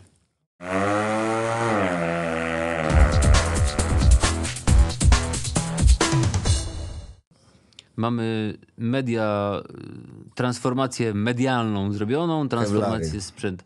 Kevlary. Ty miałeś jaki? Ty Kevlary. miałeś niebieski zawsze? Kevlar? Jako zawodnik? Ewoluowałem później bardziej w stronę czarnego, ale tak głównie byłem niebieski na początku, na początku, przez większość kariery niebieskich, ale jak zaczynałem, czy jak na początku tutaj wstali, no to yy, jeszcze skóry były przecież. No nie? tak, tak, Skóry tak. i to, a te, które my używaliśmy młodzi, to było więcej łat na tym niż tej pierwotnej skóry, że to nie była skóra, skóra tylko zbroja już w pewnym momencie. A jak to się w tym jeździło w upały? No później już mieliśmy te skórki fajne, to już były takie na zamówienie robione, te pierwsze, co były tam Stalgorzów jeszcze po Jurku Rębasie, czy po innych tych starszych zawodnikach, to już to była tragedia i grube i no było bardzo gorąco. Chociaż wtedy też nie było tak, że mieliśmy coś pod kewlarem. Pod kewlarem był tylko golfik i, i skromny ochrenecz na kręgosłup, nic poza tym. A kto obszywał? Kto ci tam jakieś napisy na tym robił wtedy? Pierwszą taką firmą, która robiła nam skóry już takie na zamówienie, to był Modpol z Warszawy. Jeszcze wtedy nie było ani Maliniaka, ani Kaczora, ani wszystkich pozostałych. Czyli co, ktoś zabierał z klubu do busa jakieś na przykład kilka skór i wiózł to, Najpierw jak? jeszcze jak klub zamawiał, to ja nawet nie wiem, kto to robił. Jeszcze to już wtedy się nie orientuję. Ale czyli to robiła jakaś firma, to nie, że tam babcia ci na przykład na maszynie wyszywała Nie, tam. Ale często chłopacy robili tak, że osłony na motocykl robili sobie tutaj, czy gdzieś u jakiegoś szewca nas naszywali. Ja to bardziej miałem, jeśli już to kupowałem gładkie osłony i po prostu naklejki na to naklejałem. Ale ty nie miałeś wielkiej finezji, pamiętam, bo ty miałeś z tyłu nad szlachetną częścią ciała napis taki Mariusz wielokolorowy. Tak. Każda literka w innym kolorze była. Bardzo podobny do tego, który miał Valentino Rossi. I później nawet mi ktoś zarzucał, że zgapiłem od tego, a ja naprawdę nie miałem pojęcia, że Valentino Rossi ma taki napis. Sam sobie go wymyśliłem. Ale ty już wtedy miał taki napis? Podejrzewałem Valentino Rossi, że ode mnie zgapił nawet. Mariusz, to trzeba wyjaśnić, naprawdę. Jeszcze jest okazja. Ale ty nie miałeś pseudonimu żadnego. Ja pamiętam, na trybunach się zawsze mówiło, a Staszewski jedzie. Znaczy w klubie ci, którzy mnie znali gdzieś tam od dzieciaka, to mówili do mnie mały, bo taką miałem ksywę na osiedlu. Od Mariusza? Że Mar Mariusz, Mario, Nie, mały? no byłem niski po prostu. No nie jesteś taki niski. Później urosłem. No to każdy z nas mógł mieć taką ksywę. To też... Ale ja byłem po prostu niższy, niższy, rówieśnicy. I te skóry. Później w czerni, w czerni poszedłeś. Tak, ale to już później, później. Tak zawsze było niebieski, niebieski z czarnym, później się bardziej zrobiło czarny z niebieskim już na końcu to głównie były czarne kolory. I później wlazły te czasy, że już były kewlary klubowe, no to już wtedy nie mieliśmy za dużo do powiedzenia. Podoba ci się to, że wszyscy w jednych jeżdżą? Tak. Jak za- byłem zawodnikiem, mi się to nie podobało, bo miałem swoje ulubione barwy i jeszcze jakoś mi się tak złożyło, że czerwony na mnie źle działał. Jak na przykład postanowiłem kiedyś zrobić sobie motocykl na czerwony, na czerwono motocykle i To gdzie mi w ogóle nie szło. to gdzie ty jeden rok, jeszcze za młodzieżowca. Miałem bardzo słaby rok. A, Wtedy taki, taki ciemno-czerwony miałeś. Taki Czerwony brokatem ze złotym miałem. burgund prawie. Tak. I, I zwaliłem to na kolor, że miałem nieudany sezon, żeby czerwone motocykle. To ty prowadzącym parę nie możesz być, bo w czerwonym kasku to jak ty możesz jest co jeździć? innego, ale chodziło o motocykle. No. i później trafiłem do Bydgoszczy i ponownie byłem czerwony i znowu nieudany rok. I któryś tam rok w Ostrowie też zrobili czerwone kewlary i trzy lata przez czerwony miałem zepsute. A ty a propos takich jakichś ym, wróżb, to na, jak ty zachodziłeś, na motor siadałeś z prawej czy z lewej wszyscy, strony? Jak wszyscy, każdy ma swoje, zawsze ta sama, zawsze lewą ręką się macha do publiczności, bo jak się... No bo nie masz tej sznurów. Tej, tej... Ale nie, nawet na prezentacji. Aha, tak? Tak, wiadomo, że jak zepsujesz bieg, a czujesz, że motor... Poczekaj, poczekaj, powoli. Czyli tak, na prezentacji zawsze lewą ręką machałeś. Do dzisiaj. Większość zawodników prawą czy lewą Nie, macha? nie wiem, ja lewą na No bo przykład. teoretycznie witamy się prawą. Tak, zawsze rękawiczkę od prawej zaczynasz. No. Prawą skarpetę, prawy ochraniacz na kolano, A ty jesteś, but. jesteś mańkutem, czy jesteś Jestem praworęczny? praworęczny. Aha. Dobra, nie i wiem dlaczego, ale machać muszę lewą ręką, bo jak prawą to nie idzie. Rozumiem, no tak. Tak samo jest z tym, że czy, nieważne czy, było, czy jak było źle, ale motocykl jest dobrze, dobrze dopasowany, to musisz coś zmienić. To najczęściej się zmienia albo rękawiczki, albo okulary, no bo co innego, nie? Mhm. I to też pomaga, jak zmienisz okulary na drugi wyścig. Czyli miałeś zawsze dwie pary co najmniej. Nie no, w okularów to się ma tam cztery co najmniej pary. Tak? No. A. Zawsze mi się wydawało, że tam masz te zrzutki, te zrywki, wszystko i Tak, tak ale dalej. to się raczej tego nie czyści. Jak jest błoto czy coś, to, to nie doczyścisz tego. I co jeszcze miałeś z takich fajnych tutaj y, historii? Przesądów? No to że musiałem się przeżegnać zawsze przed wyjazdem, ale nie wiem, czy to przesąd, to bardziej z religii wy... To bardziej tak, no. Ty jesteś wierzący cały czas. Tak, Chodzisz do kościoła co niedzielę? raczej tak. I co jeszcze z przesądów? No, to chyba nic takiego. Nie... A, zawsze miałem jakiś obrazek święty czy coś w kasku, ale to też raczej nie przesąd, tylko wynikający z tego. Aha, ale w kasku jak? W, środku wszywałeś to, czy Nie, pod tym, pod gąbkę tam, to nie, nie przeszkadza tam I niczym. którego świętego miałeś? Świętego Krzysztofa? A to już pozostawię. Dobra, nie, nie, nie. A, zosta- a został ci jakiś obrazek taki na pamiątkę na przykład? Nie. Twój? Nie. Nie, przypuszczam, że dziś mam. Y, Dużo rzeczy straciłem z takich żużlowych, bo jak poszedłem na trenera do Ostrowa po raz po, w pierwszym roku, to, to ta szkółka była naprawdę no, niedofinansowana. Były dwa motocykle, nie było kewlarów, nie było kasków, więc wszystko, co miałem swoje, to co miało zostać na pamiątkę, to poszło tam do szkółki i praktycznie nic mi nie zostało. Mhm. Dzisiaj te kewlary są, uważasz, optymalne? Czy można y, było coś z tych starszych zostawić? W sensie materiałowym, konstrukcyjnym? zmieniało, bo y, w pewnym momencie były nylony robione, było Tak. to bardzo lekkie. Tony Rickardson chyba w nylonach jeździł. Wszyscy jeździliśmy Tak? w nylonach. To już później się głównie nylon robiło. Już kewlaru jako takiego nie było. To Bo ja pamiętam, prostu... że z tyłu na przykład zawodnicy mieli nad, y, nad plastronami takie jajeczko było i tam było tam jakieś takie dwie cyfry, dwie litery BN na przykład i Kevlar albo nylon. Tam było napisane. Bijen to producent. No to Zdanie bije. akurat. No, no, no. Yy, ale to różnie, bo tak samo u nas trzyma liniach w tym samym miejscu zazwyczaj się robi. Mhm. Te nylony były wygodniejsze, bo to było lekkie jak ortalion. Później gdzieś tam przepisami powiedzieli, że, że nylon gdzieś tam się przypala, można się przytopić do tłumika i wprowadzono albo skórę, albo kevlar z powrotem. Ale to jest już teraz wygodne naprawdę, Mhm. to już nie przeszkadza. Ja pamiętam taką historię z, albo z meczu ze startem Gniezno, albo z Mistrzostw Polski Par Klubowych, w których jeździł Adam Pfeiffer jako start Gniezno i pamiętam, że on wchodząc w łuk w Gorzowie, coś tam się wydarzyło, on się przewrócił, y, odczepił się od motocykla i tak sunął przez no, kilkanaście metrów, jak nie troszeczkę więcej i dojechał do bandy. Akurat ja siedziałem na pierwszym łuku wtedy i go widziałem. Tak o, o, kawałek od tej bandy leżał i zaczął i dostał takich strasznych drgawek. I myśmy się wtedy wystraszyli okropnie, co się wtedy stało, że on po prostu go tak rzucało nim normalnie. Yy, myśleliśmy, że może uderzył, że to jakiś taki, no, że coś niedobrego się stało. Ale szybko się okazało, że mm, w wyniku tego tarcia on przypalił sobie, nie wiem, czy udo, czy, czy, czy pośladki, coś tam sobie przypalił. Na pewno pośladek. I tak go nawet- piekło, że on nie był w stanie nic zrobić, no bo on leżał w tym, w tym kombinezonie. To, takie rzeczy się zdarzają? Że Wszyscy mamy, to się nazywa kleksy. To jest właśnie takie, jak się gdzieś tam szurnęło przez dłuższą ilość toru i, i na tyłku, na łokciach do dzisiaj mamy kleksy. Masz do dzisiaj kleksa? Mam. A to jest, zaraz będzie 9 lat, jak ty nie jeździsz. Kleksy zostają do końca, Do końca życia. życia. Pamiętam, że Jurek Rębas to już kupę czasu nie jeździł, a jeszcze łokcie miał czarne pod spodem, żużel powbijany. Kurczę. To rzeczywiście, żużlowcem się jest do końca życia. Taki jest wniosek, e, Mariusz. Bo to tak, Gorzów, później Częstochowa, Rybnik, Zielona Góra, Bydgoszcz, Ostrów i Opole. Tam kończyłeś. W, w Rawiciu skończyłem. W Rawiczu kończyłeś. W Rawiciu złamałem kręgosłup. No to może w tym Rawiczem za dużo powiedziane było, bo to był złoty kask, pierwszy bieg, pierwszy bieg zawodów, pierwszy bieg mój chyba. A to Pierwszy był łuk. 15 rok, przepraszam? Tak, pierwszy łuk i w pierwszym łuku miałem upadek i złamałem e, sześć kręgów i to taki praktycznie koniec już, już. Później jeszcze tam na koniec sezonu sobie siadłem, parę meczy odjechałem, ale to już było takie, to już był koniec. A który ty z tych klubów najlepiej wspominasz? No to wiem, że takie paździerzowe no, to pytanie mi wyszło. No, ale... No, każdy był inny. No. Stal wiadomo, to jest Stal, mój klub macierzysty, zawsze się dobrze go wspomina. Częstochowy bardzo dobrze wspominam. To, był To taki, na wstępie już mówiłeś właśnie. No, No. to był taki klub gdzieś tam przełomowy dla mnie i, i bardzo fajnie byłem tam przyjęty. Bardzo wystraszony, bo to pierwsza zmiana klubowa to już masakra, to prawie jak koniec kariery wtedy się dla człowieka wydawało. A mieszkałeś w Częstochowie w jakimś hotelu, czy tam miałeś jakąś metę? Miałem mieszkanie. Dwa pierwsze lata mieszkałem w Częstochowie. Miałem y, wynajęte przez klub y, mieszkanie i tam dwa, może nie lata, ale sezony dwa tam zawsze spędzałem raczej tam. Ale z rodziną, czy tam sam byłeś? Ja wtedy jeszcze nie miałem rodziny. Miałem dziewczynę i dziewczyna czasami tam, jak tutaj obecna moja żona, jak w, y, były wakacje, to tam jechała ze mną. I co, nie nudziła się? Nie. Tam było co robić w tej Częstochowie chyba zawsze. Tam zawsze można iść na jasną górę. No tak, no to, to tam Mariusz wysyłał zawsze, obliczona droga, dobra. Yy, losuj dalej Mariusz. Sprzęt mamy myślę, że załatwiony. Można by w nieskończoność w tym sprzęcie, ale mamy jeszcze tutaj kilka innych ciekawych dziedzin. Jak Pieniądze. Pieniądze. Pieniądze szczęścia nie dają. Ale bez pieniędzy się nie da być żużlowcem, panie Mariuszu. pieniędzy.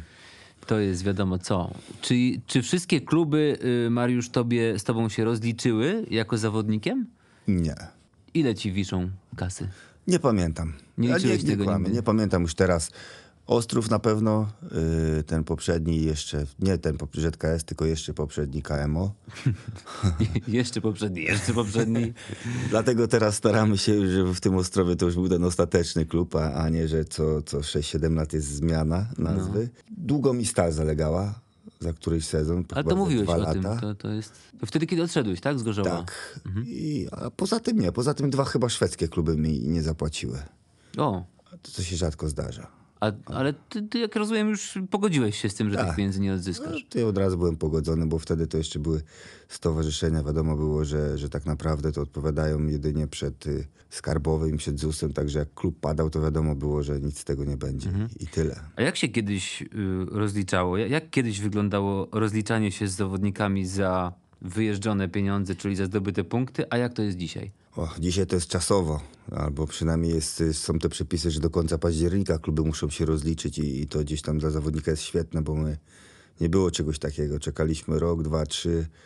Yy, później jeszcze jakieś ugody były podpisywane, nie, nie, nieprzestrzegane przez kluby, także było to no, wolna amerykanka, a teraz, teraz, jest, teraz naprawdę mają fajnie zawodnicy. No ale kiedyś było w gotówce. Na samym początku. Było w gotówce. Szło się po meczu do kasy? Do Szło pani się tam. po meczu do kasy, ale... Do pani Uli chodziłeś, czy do kogo Do chodziłeś? pani Uli chodziliśmy, ale rzadko starczało dla wszystkich. To tam dwóch pierwszych co było, a reszta to, a jeszcze jak ja byłem młodzieżowiec, to my tam... Ale to jak to było? To się po meczu się ścigało kto pierwszy, czy to było wiadomo, że była hierarchia, że na Nie, przykład no. dostaje Hamil i śwista, reszta Tak, zazwyczaj poczekać? tak było, że ci, ci musieli dostać, bo najwięcej mieli do powiedzenia, a my juniorzy to tam jak coś tam dostaliśmy, to byliśmy szczęśliwi, a jak nie, to czekaliśmy do skutku. A taki skutek to, to mówiłeś, że nawet kilka lat się czekało, no ale rozumiem, że jakieś pieniądze w sezonie musiały być, dlatego że no, trzeba było inwestować w te motocykle, A naprawiać jak nie było, to się nie inwestowało. No i jak to się jechało? Tak, no tak się jechało, jak się jechało. No. Do tyłu. No. Nie, no były takie mity, ja pamiętam, y, że byli zawodnicy podobno, którzy mówili w tamtych czasach, y, nie tylko w Gorzowie, no akurat o Gorzowie rozmawiamy, ale że jest kapucha, to wyciągam ten motor, nie ma kapuchy, to jadę na tej kozie na przykład. no różnie było, no to nie, że w Gorzowie tak było. W Nie, ogóle nie, ja, dlatego to powiedziałem, że... W- To było w różnych klubach. Nie, pamiętam. Jarek Gała chyba kiedyś w rozliczeniu nas wziął traktor. Yy, Jacek Golob też coś tam polewaczkę chyba w pile zabierał. To różnie to było. No, takie to były śmieszne czasy. Ty nie zajmowałeś żadnej tam na przykład maszyny do pisania, nie zabrałeś? Nie, bo jak przyszedłem, to już nic nie było. nie, żartuję. No nie, nie, nie potrzebnie. Ja byłem z Gorzowa, także A w którym momencie... traktor mi do niczego nie był potrzebny. A, tam zawsze byś tam gdzieś, wiesz, popchnął w Niemczech czy gdzieś. W którym momencie zaczęły się te finanse jakoś tak bardziej... Ja nie, ja nie mówię o tym, że, y, że mm, klub zaczął się by- być na tyle uczciwy i się rozliczać, tylko chodzi mi o to, jak ta transformacja wyglądała w żużlu, jeśli chodzi o to, że przestała ta gotówka krążyć, tylko zaczęły przelewy być robione. Kurczę, to ja nie pamiętam tak dokładnie, ale to nie, to nie, było, to nie było zależne od żużla, tylko to były przepisy. Bo my wszyscy mieliśmy działalności gospodarcze i przedtem wszedł to, y, przepis, że tam do 10 tysięcy czy coś można było gotówkowo. Także to taką śmiercią naturalną przeszło już na, na te przelewy. Pamiętasz swoją największą punktówkę w jakichś danych zawodach? Ile to było? E, W sensie? No ile zarobiłeś podczas jednego meczu najwięcej? A Jakbym pamiętał, też bym nie gadał. Tak. No właśnie. Wiem, że na, wiem, że kiedyś było tak w Częstochowie, że y, oni mieli giełdę na stadionie. Nie wiem, czy nadal jest, pewnie nadal jest. I tam sprzedawali te wszystkie miejsca na cały rok. I to było jakoś koniec listopada albo początek grudnia. I zazwyczaj były jakieś zaległości i do tej giełdy i wtedy nam spłacali powiedzmy pół sezonu, które zalegali, czy coś w tym to stylu. na przykład ty w listopadzie jechałeś na giełdę i tam Nie dostawałeś... na giełdę, do klubu, a w klub, że wynajmował tą giełdę, to miał z tego pieniądze. Aha, z tego wtedy. wpływy były jeszcze. Tak. No i wtedy się jechało, negocjowało się nowy kontrakt, dostawało się pieniądze za poprzedni sezon i pamiętam, że wtedy tych pieniędzy tam trochę było jeszcze, jak mi się wtedy wydawało, że to były ogromne pieniądze, to całą drogę z powrotem do Gorzowa wydawało się, że ktoś mnie śledzi, żeby mi te pieniądze ukraść. No. Tak zapierniczałem, że, że prawie z tranzyta zawory powyskakiwały. Ale to miałeś w walizce te pieniądze? E, w reklamówce. W reklamie. Powiem ci, że jak tak to opowiadasz, to ostatnio jak Jan Nowicki zmarł, no to ja sobie odświeżyłem Wielkiego Szu. To trochę widzę te sceny z Wielkiego Szu. A ty w A to nie tylko ja, to wszyscy tak, tak to wtedy wyglądało. No właśnie, a ty w pokerka nie grywasz tak a Mhm. propos Wielkiego Szu. Nie mam żyłki tej hazardzisty ani do maszyn, ani do kasyn. W ogóle nie pociąga mnie to. A w tych czasach, kiedy ty byłeś zawodnikiem, to byli tacy żużlowcy, nie pytam o nazwiska, Byli. którzy, tak, którzy tam potrafili przehulać? Pewnie. Nie chcesz mówić kto? Nie, no pewnie, że nie to. No jasne.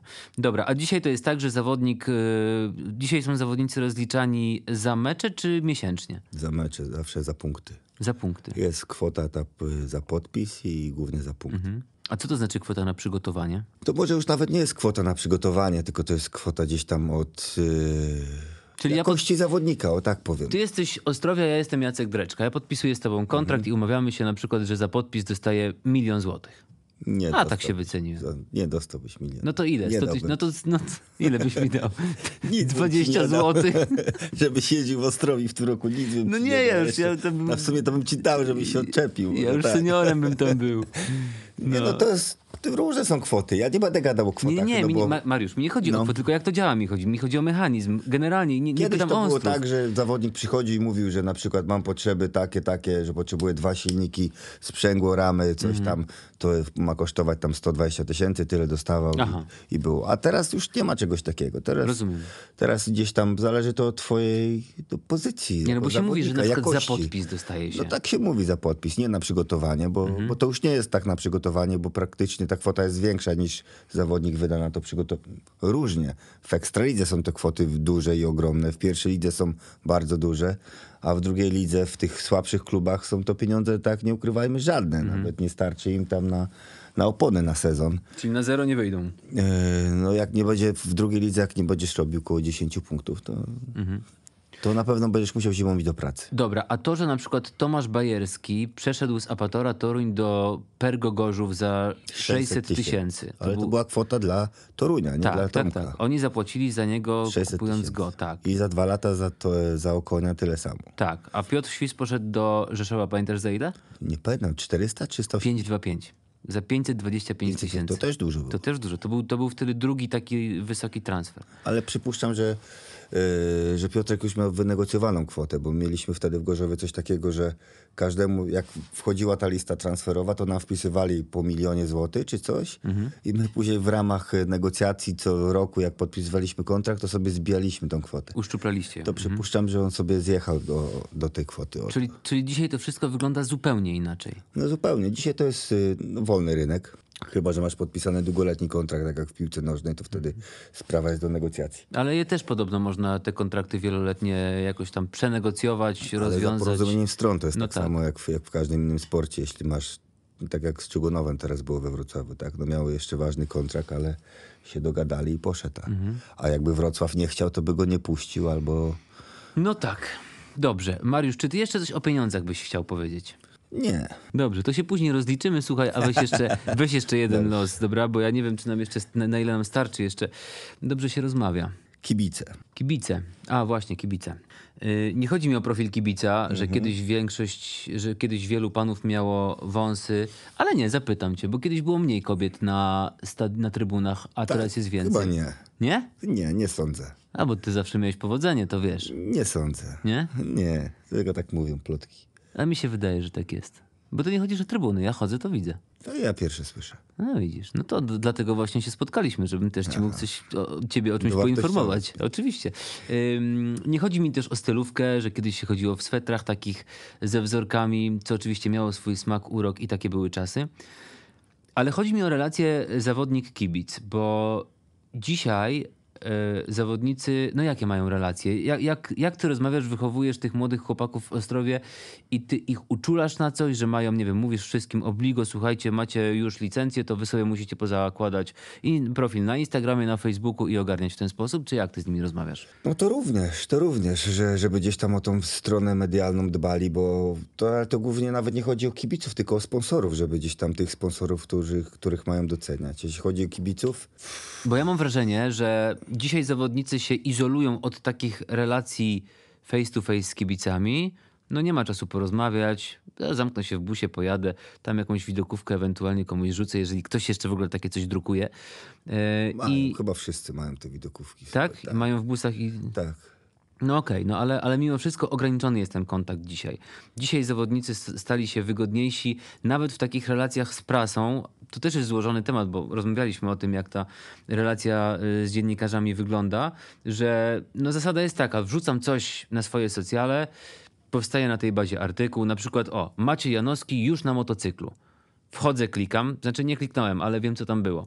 Było to, że Maciek Janowski na Instagramie wrzucił, kiedy polska reprezentacja grała, wygraliśmy tam z kimś na Mistrzostwach Świata, to Maciek z radości motorem jeździł po, po garażu swoim dużym. No i wiesz, czytasz, czytasz, kurczę, Janowski już przygotowania robi, nie? Wchodzisz, a tam nawet garażu. tekstu za bardzo nie było. Po prostu było tylko, wiesz, screen był z jego Instagrama i to wszystko, nie? Także to tak, tak ta komunikacja dzisiaj trochę wygląda. No w tą stronę też poszło, że w każdym klubie jest czy tam rzecznik prasowy i w większości klubów na, na rozmowę z zawodnikiem trzeba się umówić przez rzecznika. Gdzieś tam też jest cenzura. Kiedyś to zupełnie inaczej wyglądało. Pamiętamy przecież jak Sławek Drabik jakie wywiady dawał, czy... Ciekawsze rzeczy się mówiło Tak wtedy. jest. Teraz zanim coś, coś się powie, to trzeba dobrze przemyśleć, żeby, żeby nikogo nie urazić, czy nie nacisnąć komuś na ten... Na odcisk. Tak jest. No kibice, no, inaczej to wyglądało. Ja jako kibic szedłem na stal, to jeszcze zdjęcia sprzedawali pod, pod stadionem z koca.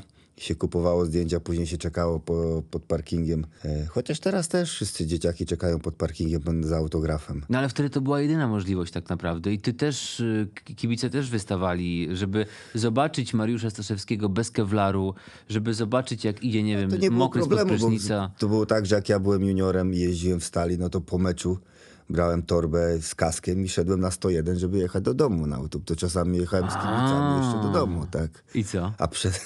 ciekawie było. A przedtem jeszcze przecież jak mieliśmy zakłady, y, warsztat na zakładach mechanicznych na Ursusie, no to trzeba było na traktorze te motocykle przywieźć tego Ursusa i po meczu zawieźć. A, Przez miasto, traktor, Tak przyczepka, motory. a jak był mecz przegrany i akurat wszyscy kibice wracali, no to tam się dostawało tym najmłodszym, którzy te motory y, odwozili najwięcej. My akurat siedzimy w studiu, y, w Drogą, którym... którą jechaliśmy. Tak, tak, tak, bo tutaj jest ten most kolejowy, Tak. gdzie były te takie y, kolejowe kamienie, te kanciaki takie. To ja pamiętam kiedyś, jak, jak był mecz z Polonią Bydgoszcz, to ja byłem w szoku, jak tutaj ludzie wchodzili na ten most i rzucali w samochody y, na bydgoskich numerach tymi kamieniami, że to było straszne. No, to takie były czasy. Y, No dobra, Mariusz, ale, ale i... Czyli te relacje z kibicami oceniasz, że teraz są lepsze, to taka... No ja to nazywam izolacją i się będę upierał, że to jest izolacja. Ja, a w jakim sensie mieliśmy większy kontakt z kibicem w latach 90.?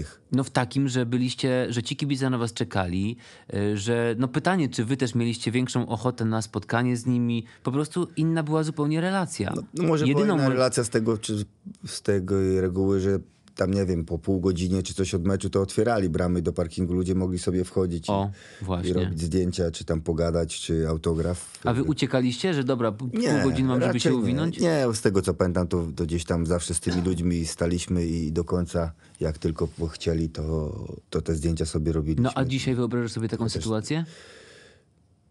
Czasami.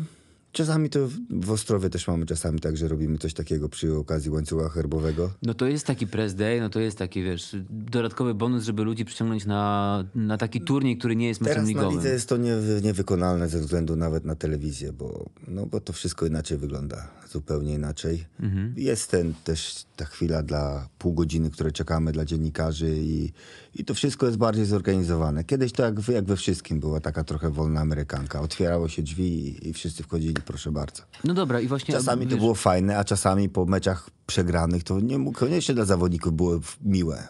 Wiesz, ja nie chcę y, też krytykować zawodników, bo też rozumiem, że oni mają swoje humory, swoje sprawy, swoje problemy, ale chodzi mi o to, że technologia współczesna pozwala na utrzymywanie relacji z kibicem, nie spotykając się z nim.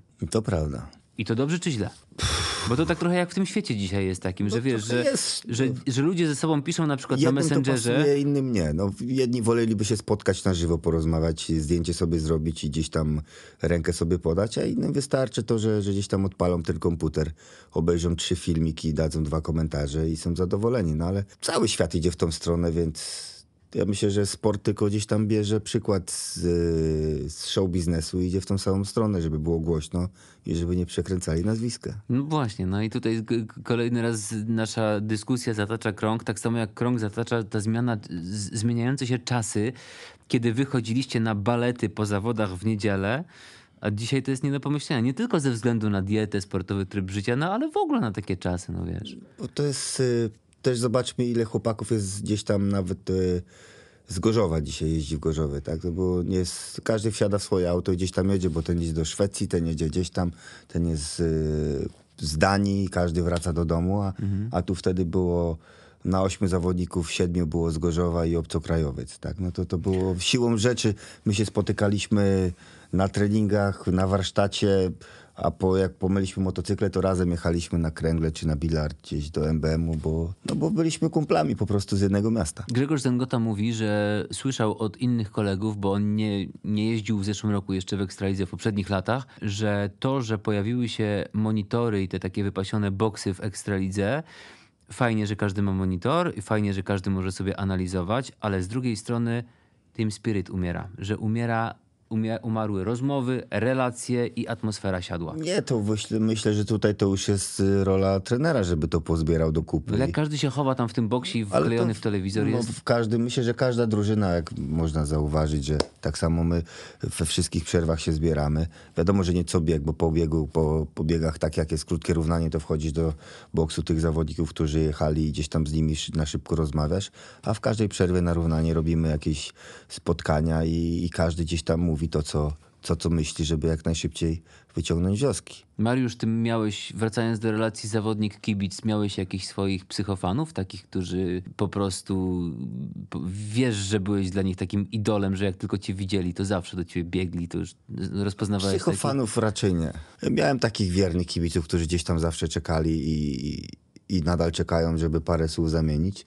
Kiedyś miałem może jedną psychofankę, która gdzieś mi serduszka na motocykle w warsztacie klubowym jeszcze tutaj nalepiała, tak. A jak wyjeżdżałem na tor, to kwiatki rzucała z tunelu. No. Jakie to były kwiatki? Goździki A czy nie róże? pamiętam, ale. A może pelargonie? Ale pamiętam to, że, że taki fakt był i że mnie to... Wstydziłem się bardzo, jak to robiła. A to jeszcze byłeś wtedy juniorem czy już Tak, seniorem? to takim początkującym jeszcze A. juniorem, takim szesnastolatkiem. I, I wtedy ci się pojawiały czerwone plamy na O, polikach i dlatego czerwonego wiadomo- koloru ty nie lubiłeś. Może być. Wiadomo, że starsi koledzy nie umieszkali później się z tego śmiać i gdzieś tam do wiwatu trochę dać, więc, więc to było krępujące bardzo. Aha. Ale to w Gorzowie tylko. A na przykład, nie wiem, w Częstochowie, Rybniku czy Zielonej to nie było takich sytuacji. Nie, raczej nie. A wiesz na przykład, y, że. No bo umówmy się, ty nie byłeś w tych klubach takich typu Gorzów, Częstochowa, czy chyba nawet Rybnik, ty nie byłeś tam liderem. Byłem Co byłeś? liderem Gdzie byłeś? w Rybniku. No w Rybniku. No to przesadziłem z tym Rybnikiem może. A jaką miałeś wtedy średnią w Rybniku? A coś koło dwóch. No to taki wiesz, no. A jeszcze, a kto tam wtedy jeździł w tym Rybniku? O, no raczej to byli chłopacy miejscowi, bo to jeszcze te czasy były. W e, Niki Petersen. No to Niki Petersen jeździł i ty byłeś liderem? No, ale krajowym. No, no, no. był wtedy takim głównym tam dowodzącym no i Mhm. byłem liderem krajowym. No dobra, to w sumie zostawmy to już. Y, Czy coś jeszcze o kibicach, tak myślę, chcesz powiedzieć takiego, że, że na przykład ich lubiłeś albo cię denerwowali? Znaczy, ja powiem tak, jak się jechało na wyjazd, to dobrze jak kibice gwizdali, bo to wtedy znaczyło, że jesteś dobry, bo jak cich występowałeś na prezentacji i cię gwizdał, to, to słabo. A jak nie? ci brawo bili jeszcze? No to już, To już w ogóle jak słabo. piąta kolumna. Nie, No. no. Musieli gwizdać i to było dobre. Jak gwizdali, to czułem się, że, że gdzieś tam czują respekt. Motywowało okej. to. Jak najbardziej. Mhm. Ale y, nie narzekałeś nigdy na to, żeby, że, że kibice, że. Bo dzisiaj też, bo ty jesteś takim właściwie trenerem, który. Bo ty jesteś trenerem, chociaż masz na bluzie, nie wiem czemu cały czas patrzę na napis dyrektor sportowy. Co ty masz do Też w dyrektora? tym roku byłem dyrektorem sportowym w Ostrowie, bo taki był wymóg Ekstraligi. Aha, czyli ja dobrze mówię, że ty jesteś trenerem. Tak. Bo w pierwszej lidze to już normalnie może być, że jesteś trener. A w Ekstralidze też. Tylko, że tam jeszcze też dyrektor sportowy. I menadżer. I menadżer jeszcze. Ale ty y, jeździsz na motocyklu żużlowym? Zdarza ci się? Tak. No, a nie masz takiego czasem zacięcia, że a bym tę licencję jeszcze odnowił? Ale po co? No dla fanu. Ani pieniędzy już z tego nie będzie, ani wyniku, to po co mieć licencja? No. Jeżdżę sobie dla fanu. Ale cztery kółka na pełnej... Tak, manecie? przejadę na pewnej manecie. Co ty mówisz? A ścigasz się czasem z chłopakami, ze swoimi Nie, bo podopiecznymi? robię w, tak naprawdę robię jeden trening na koniec sezonu zawsze sobie. Yy, I nie tylko ja, mam taki zwyczaj, że tam i mechanicy, i ci byli, którzy jeździli, wszyscy siadamy na motocykle w Ostrowie i ten jeden dzień, ostatni trening sobie taki wszyscy jeżdżą. Szczególnie mnie to interesuje zawsze, bo dużo jest mechaników, którzy strasznie się mądrzą w trakcie sezonu. I po sezonie zapraszam, Zapraszam. wszystkich. Żeby nie było, że ja nie jadę, to ja też wsiadam. Ja pokazuję, co umiem. I pokaż, tak krytykowałeś. I co, teraz. i ru- rura im mięknie na zimę?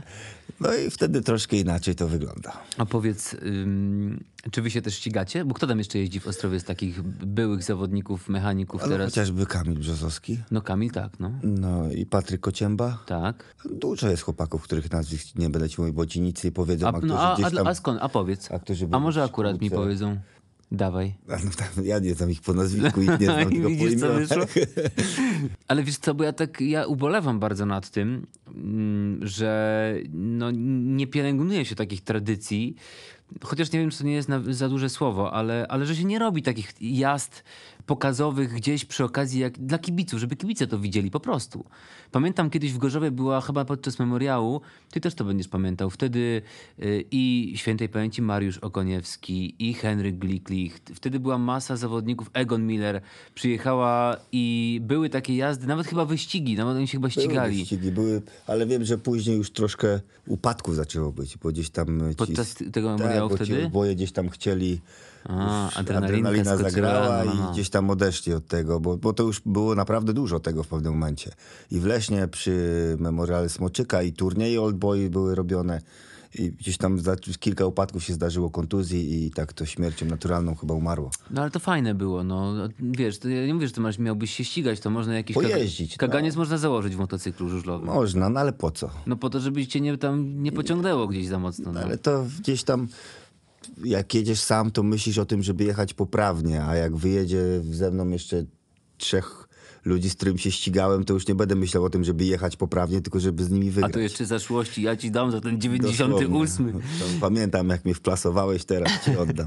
No, ale, ale y, to jest taka metoda, że na przykład jak nie potrafisz, albo nie da, albo zawodnik, któremu młody, któremu coś tłumaczysz, nie wychodzi, to ty wyznajesz taką metodę, że jeżeli nie jestem w stanie tego wytłumaczyć, to siądę i pokażę? Czy... Tak. Znaczy, no, zdarza mi się nawet z tymi starszymi, bo niektóre rzeczy, które tłumaczę, mówią, że to, te ciężko, nie da się, no to wsiadam i da się, da się i jest mi wtedy łatwiej, bo jeśli o czymś mówisz, a tego nie pokażesz, to oni też mówią, a gadać to każdy może. No jak już się pokaże, to jest inaczej. Bo ty masz takie same, że tak powiem, mm, parametry jak wtedy, kiedy byłeś zawodnikiem? Nie, no pewnie, że nie. Nie? Pewnie, że nie. Pewnie, że jestem 15 kilo później.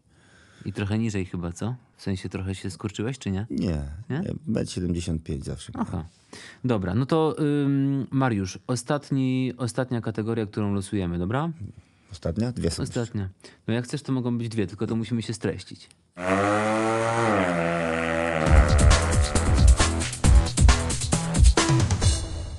Stadiony.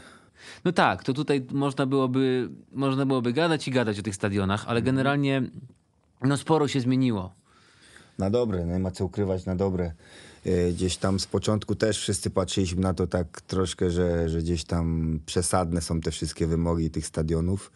Aczkolwiek teraz po czasie muszę przyznać, że, że to robi robotę i, i widać, że na, chociażby po Wrocławiu, gdzie po stadionie frekwencja zrobiła, tylko fakt faktem, że frekwencja, e, że stadion remont z wynikiem się zszedł i ta frekwencja poszła za jednym i za drugim. No tam jeszcze parę innych elementów jest, o których nie będę ci teraz opowiadał, Ale ale, tak z daleka ale tak generalnie z zewnątrz tak może to W Gorzowie wyglądać. było podobnie po remoncie stadionu. Nagle gdzieś tam z 7-8 tysięcy zrobiło się na kilka lat komplety. Teraz wiadomo, żeby zapewnić e, pełen stadion, pełnego jancarza, to trzeba wyniku, bo wynik nakręca kibiców, koniunkturę, wszystko. I tak samo jest w Głoszowie i w Ostrowie i wszędzie. Myślę, że w tym roku w Ostrowie, jakbyśmy pierwszy mecz wygrali z Grudziądzem, to byśmy frekwencję mieli do końca sezonu ponad 10 tysięcy. A powiedz, nie zagotował was ten terminarz a propos? To nie był... Tegoroczny? Tak. To, że pierwszy mecz jechaliście z Grudziądzem, to No to nie... było dla nas no, katastrofa była. Wiedzieliśmy od początku o tym, że to dla nas jest katastrofa, bo wiadomo było, że stadion będziemy, będzie remontowany do ostatnich godzin. Przygotowań tak zero. Jeszcze na ostatni tydzień dostaliśmy plandekę ustawił też tam pierwszy mecz cały sezon. Nie ma, nie ma o czym dyskutować, bo przegraliśmy y, z y, głównym rywalem do walki o, No o tak. utrzymanie się u siebie 20 punktami, to więc ustawiło to cały sezon.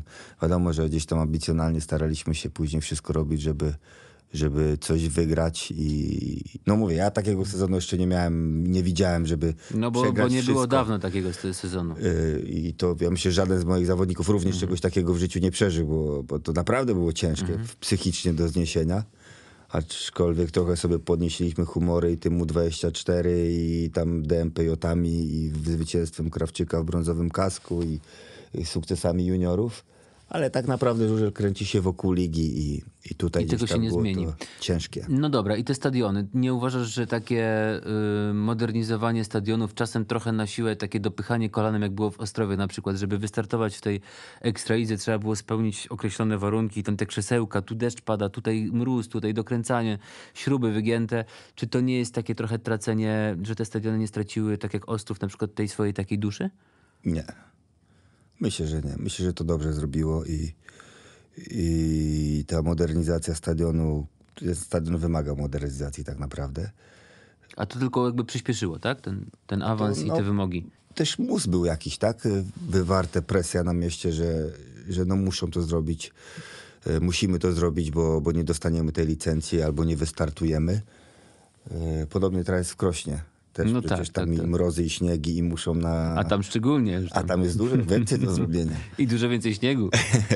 No i myślę, że to jest dobre. Może nie, szkoda, że nie dostaliśmy czasu na przykład, że połowę zrobić w tym roku, połowę w następnym. Wtedy więcej także funduszy może byłoby przeznaczone na wynik sportowy, a nie tylko na, na gdzieś tam na modernizację stadionu i moglibyśmy też powalczyć o innych zawodników, żeby ten wynik w sezonie był inny. Chociaż teraz z drugiej strony też są te prekontrakty i powiedzmy sobie, że ci najlepsi zawodnicy w połowie sezonu już prze- poprzedłużają kontrakty ze swoimi klubami a Beniaminek znowu będzie dwa tygodnie, dowie się o awansie swoim dwa tygodnie po ostatnim meczu Ekstraligi i 99% zawodników będzie miało podpisane już umowy, nie na gębę, tak jak do tej pory, tylko podpisane, że się z tego nie wycofa i znowu ten Beniaminek będzie w najgorszej możliwej No to, sytuacji. to dogadujcie już Doyla tam u siebie, on tam wiesz, on, on lubi.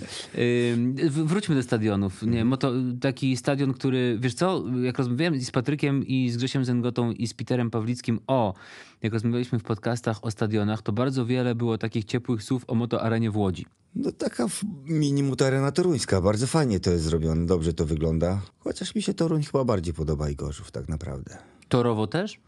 Również. Bo bardzo chwalą te nachylenia duże. Tam jednak, jednak fajnie się jedzie, bo na łukach masz taką beczkę Ale śmierci. znowu są zakręcone wyjścia z łuku bardzo. I gdzieś tam mało ataków po zewnętrznej przynosi rezultat, bo z wyjścia zawsze musi stanąć poprzek i ten krawędzik wyleci. Także y, jest, no są tory.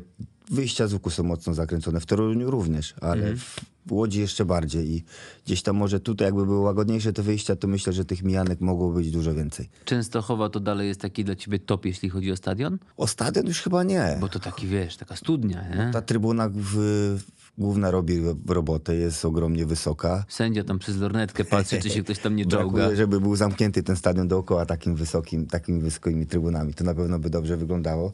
Chociaż na dzień dzisiejszy to myślę, że no, Toruń i Gorzów to są dwa najpiękniejsze żużlowe stadiony na świecie. No ale ja na przykład w Toruniu, jak byłem, to czułem trochę takiego, taki powiew betonu trochę za bardzo. Fakt, że to było chyba best pers, ostatnio, ostatnio tam byłem, to były te zawody, czyli to było ładnych kilka lat temu. Było zimno, mroźno i ten, Zimno i ten jest od beton tego taki, betonu, to no. prawda. Ale jak się jest tam y, latem i pełne trybuny, to naprawdę jest super. Ale no, ciągle tam jeszcze. Zauważ paradoks, że na przykład w, zeszłym sezonie, okej, Gorzów był na drugim miejscu, jeśli chodzi o frekwencję w Ekstralidze. O tyle Toruń cały czas tam jest. Brakuje wyniku. Wystarczy, żeby gdzieś tam dojechaliby do finału playoffu i byłby na pewno pełen stadion i na przyszły rok mieliby frekwencję. A, jak, a co ty myślisz o takich. Który stadion spośród tych ligowych w Polsce, Twoim zdaniem, jest taki najbardziej archaiczny, taki najbardziej stary? Taki, gdzie się jedzie, a tam jeszcze wiesz, olejną przeciągnięte. Nie ma czegoś takiego, bo licencji nie dostali, ale najbardziej taki myślę, że najmniej zmieniony jest Grudziądz. To tam jest troszkę przykryte to wszystko, tak? I, ale no nie było jakiejś wielkiej A ty mówisz o Ekstralidze teraz. Tak. A ja mówię o całej O Polsce. Polsce. Opole. No Poznań, Opole. Opole. Opole nie ma trybun. Do tej pory Krosno, tak? No bo to były trybuny tylko na przeciwległej prostej, trochę pod wieżyczką. Krakowie coś tam, ale nie ma już Do teraz. Kraków to tam chyba poroś, porośniętym robić, teraz już no. jest. Y, Świętochłowice to tam ciężko coś powiedzieć, no bo tam jest... to. Zburzyli, ale coś tam się dzieje podobno, tak? Idzie, idzie do przodu, ku lepszemu. No ale to mówimy o drużynach. A Piła?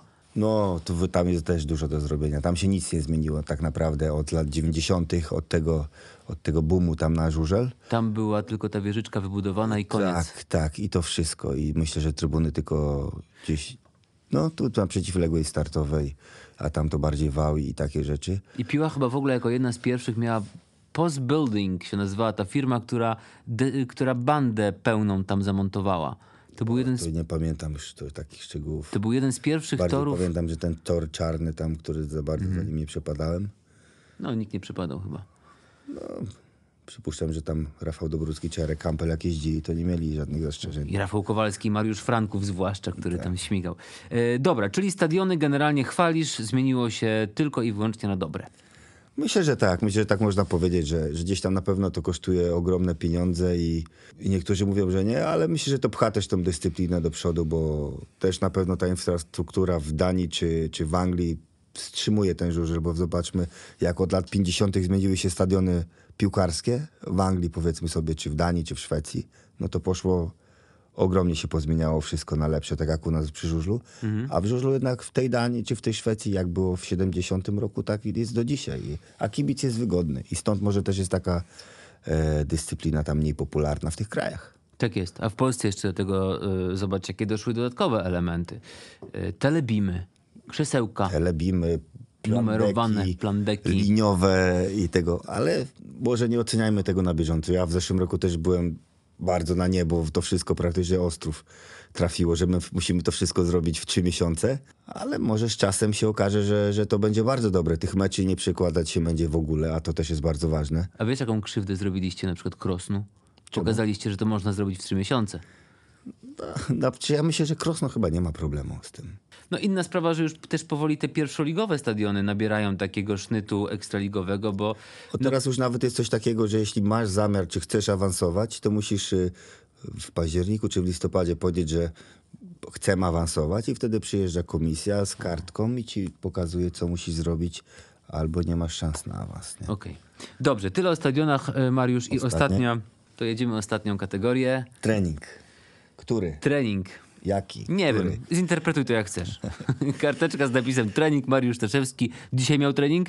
To oczywiście, że tak. O, i, co, I co w ramach treningu trener Zestaw robi? weekendowy. Czyli co? Bicek i trycek. Zestaw, zestaw weekendowy to mi się szczerze mówiąc z czym innym kojarzy. Nie, trening. y, Czy na siłownię chodzisz?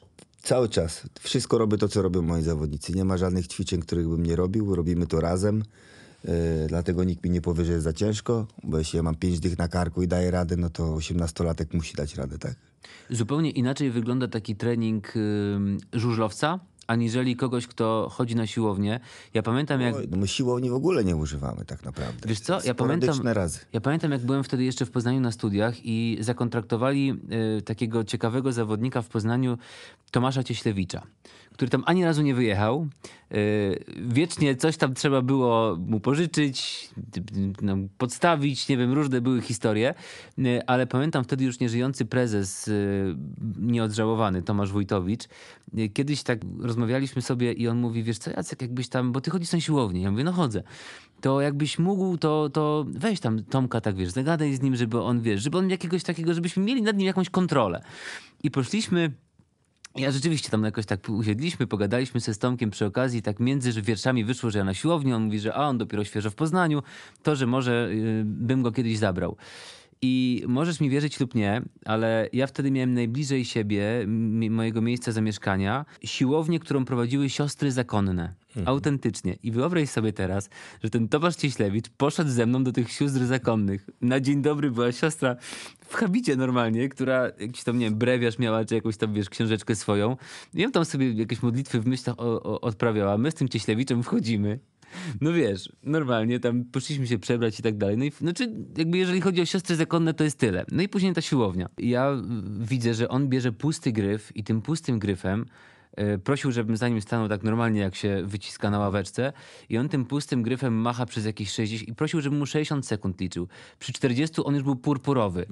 Wszystkie żyły można było już na czole mu policzyć i ja mu przerwałem, bo myślałem, że on po prostu coś się z nim stanie i on mi później wytłumaczył, że tak wygląda trening, bo to jest często 60 wygląda, sekund. tak. tak, to prawda? Tak, mieliśmy obwodowy trening, zazwyczaj jeśli była siłownia, to była obwodówka i ona była tak między 40 a 60 sekund, tam 15 sekund na zmianę przyrządu i tak gdzieś w kółko parę obwodów robiliśmy, co się wykonuje do dzisiaj nawet. Ale to jest kwestia na bezdechu, czy tam można jakiś oddech Nie, no łapać? nie na bezdechu, nie, no to tak samo jakbyś miał jechać na bezdechu. No kiedyś słyszałem, że Andrzej Huszcza powiedział, że on nawet nie wie, ile on razy oddech No łapie. nie wie ile razy, ale oddycha, bo ten, kto nie oddycha, no to spróbuj nie oddychać minutę i, i robić jakiś... No mogę to zrobić, tylko że wiesz, to się robi na Ale określonej adrenalinie. pompki robić. No, nie, to, mogę nie, nie dać rady. No. No i- Ale Ale są zawodnicy, którzy, no zawodnicy to może dużo powiedziane, którzy gdzieś tam prawie nie oddychają i zjeżdżają praktycznie no fioletowi. Często Pamiętam- gęsto nie pamiętając, co się działo na torze. I to nie jest zdrowe. Nie, to nie jest zdrowe i to jest bardzo niebezpieczne. No. Ja pamiętam kiedyś y, taki obrazek w telewizji, oglądałem mecz Atlasu Wrocław z kimś tam, nie pamiętam, ale pamiętam, że wtedy Robert Dados y, w Atlasie jeździł i ściągnął kask po biegu i on był dosłownie czarny na czole. On, był, on miał widać, że żyły i on był stra- on musiał wtedy tak jechać na bezdechu. No ciężko jest mi to powiedzieć, ale być może tak, chociaż Robert Dados to był naprawdę bardzo utalentowany zawodnik i dużo więcej mógł osiągnąć, gdyby nie tak, No kłopoty z psychiką, no bo to trzeba powiedzieć chyba wprost. no czy ze zdrowiem yy, i nie sądzę, żeby on jeździł na bezdechu. To był mistrz świata juniorów, także już był na takim poziomie, że, że raczej nie. On też złoty kask wygrał, to był kawał zawodnika. Mhm. Dobra, ale co z, tym, co z tym treningiem w takim razie? Jakie ćwiczenia się wykonuje? Różne, wszelkie, wszelkie ćwiczenia. By- Ja też chodzę często i gęsto na, na ćwiczenia gdzieś tam na, na siłowniach tutaj, na jakieś crossfity, czy, korzystam ze znajomych tych trenerów personalnych, żeby jakieś te treningi urozmaicić chłopakom, jeśli chodzi o te zimowe oczywiście. Y, Też współpracujemy z różnymi ludźmi, którzy nam układają jakieś fajne ćwiczenia, żeby w kółko nie było to samo. Naprawdę jest przeróżny ten. Teraz jest mega moda wśród zawodników na jazdę na, na rowerach, tak? Na, Bo to Marek gdzieś tak bardzo kreuje.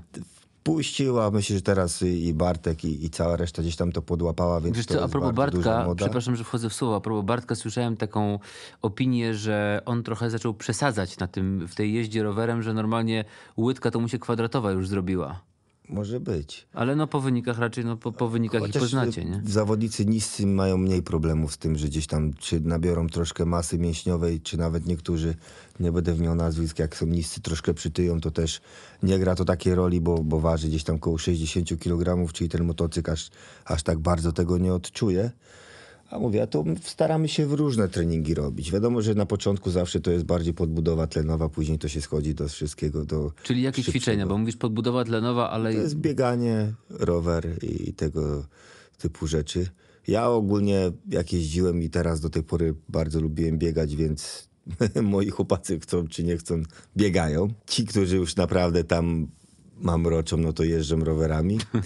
Ja również gdzieś tam nie jestem tego zdania, że, że motocross jest bardzo kontuzjogenny i nie wolno. My dużo jeździmy całą zimę, jak tylko pogoda daje, to cały czas jeździmy. No i co tu jeszcze więcej dodać? A treningi, mówię, są naprawdę, są od tabaty przez obwodówki, są wszystko robimy, co tylko można i w sezonie się nie trenuje. Na ma siłowni. raczej czasu, chociaż powinno się. Chociaż Powinno coś, się? Pewnie, powinno się coś tam. Myślę, że seniorzy muszą trenować gdzieś tam takie rzeczy. Jeśli chodzi o juniorów, to oni mają tyle tej jazdy, że, że oni nie mają kiedy tego robić. To oni mają po 5-6 imprez czasami w tygodniu, także nie mają kiedy. Jak mają wolny dzień, to nawet gdzieś tam jak dzwoni, pyta, czy iść pobiegać, to ja mówię, odpocznij, bo, bo znowu zaraz mamy 5 imprez dzień po dniu. Czy nawet na krosie, jak chcą Mhm. pojeździć, to mówię lepiej nie, lepiej poleżeć, żeby gdzieś tam się zregenerować, ewentualnie jakiś krótki tam marszobieg czy coś i to wszystko. A jeżeli jest źle przepracowana zima pod kątem przygotowania fizycznego, to jak to się objawia w sezonie po wynikach? Jest większe, większe prawdopodobieństwo kontuzji, czy co się dzieje? Jest większe prawdopodobieństwo kontuzji, jeśli nie ma tego rozciągania na odpowiednim poziomie. Wiadomo, że też gdzieś tym, tym treningiem robi się głowę, bo to w żużlu tak naprawdę głowa jest najmądrzejsza, naj, najważniejsza. E, No i waga. No tutaj tym treningiem robimy głowę i wagę. A jest jakiś taki przelicznik, że na przykład, to wiesz, Nie, raczej nie ma. generalnie lekarz mówi, że tam jest, nie wiem, jeżeli masz 1,80 m, no to, to trochę mniej niż 80 należy ważyć, nie? Do minus 10 to jest takie zdrowe. No wiadomo, że w żużlu czy do skoków narciarskich to jest inaczej dużo. To trzeba być dużo lżejszym. Jeśli ktoś ma 1,80 m i będzie ważył 75 kg, no to to jest za dużo. Musi gdzieś tam do tych 70 y, sobie zgubić to. Póki co regulaminy tego nie określają. Póki co nie. No i myślę, że raczej nie. Raczej to tak już pozostanie. Nie, no ja się śmieję, dlatego że wiesz, wiesz jak jest, nie? Że tak już się mówi, żu- żużlowcy mówią, że niedługo na wszystko będą paragrafy i na wszystko będzie regulamin. To dobrze czy źle, że takie jest wszystko już dzisiaj wy, wymuskane, opisane i... Tak chyba w niektórych momentach jest to przesadzone. Już naprawdę, bo niektóre rzeczy to już troszkę są śmieszne, że, żeby...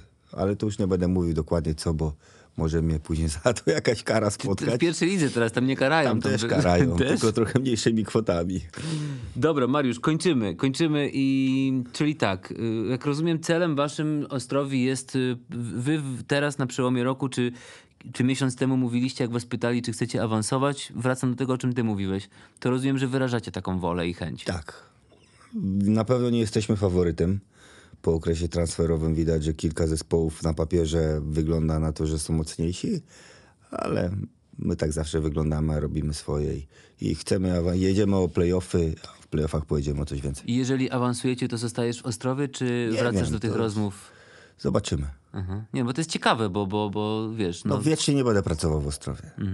No, gdzieś tam kiedyś musi przyjść jakaś zmiana i myślę, że to i dla mnie dobrze, jako dla młodego powiedzmy trenera, ale także dla Ostrowi jakaś zmiana krwi, coś tam. Gdzieś tam te dwa pokolenia już wychowałem tych chłopaków, pora na kogo innego. jak ci się rozmawiało? Bardzo dobrze. Ciekawych rzeczy parę powiedziałeś, wiesz? Tak? Mhm. To ja tylko jeszcze dodam na koniec, że na Facebooku jesteśmy, y, mówi się Żużel i kto y, z Państwa słuchających słucha, ma profil na Facebooku i nie polubił, to niech polubi, bo tam wszystkie informacje, także zapowiedź, którą za chwilę z Mariuszem nagramy, y, która będzie taką zapraszającą formą naszej rozmowy. Okej, Mariusz? Zgadzasz się? Okej. Mariusz Staszewski, wychowanek, y, ja mówiłem Wandy, Wandy Kraków. Kraków. A wiesz czemu tak mówiłem? Bo sprawdzałem, czy mnie słuchasz. Tak, i y, Patryk Dudek się zorientował, że nie jest wychowankiem, już nie pamiętam, chyba kolejarza Opole. Ale Peter Pawlicki mówi tam wy, wychowanek startu Gniezno, no on dzień dobry.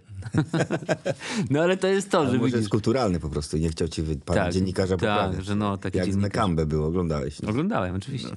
Mariusz Staszewski był gościem podcastu Mówi się Żużel, dziękuję. Dziękuję bardzo.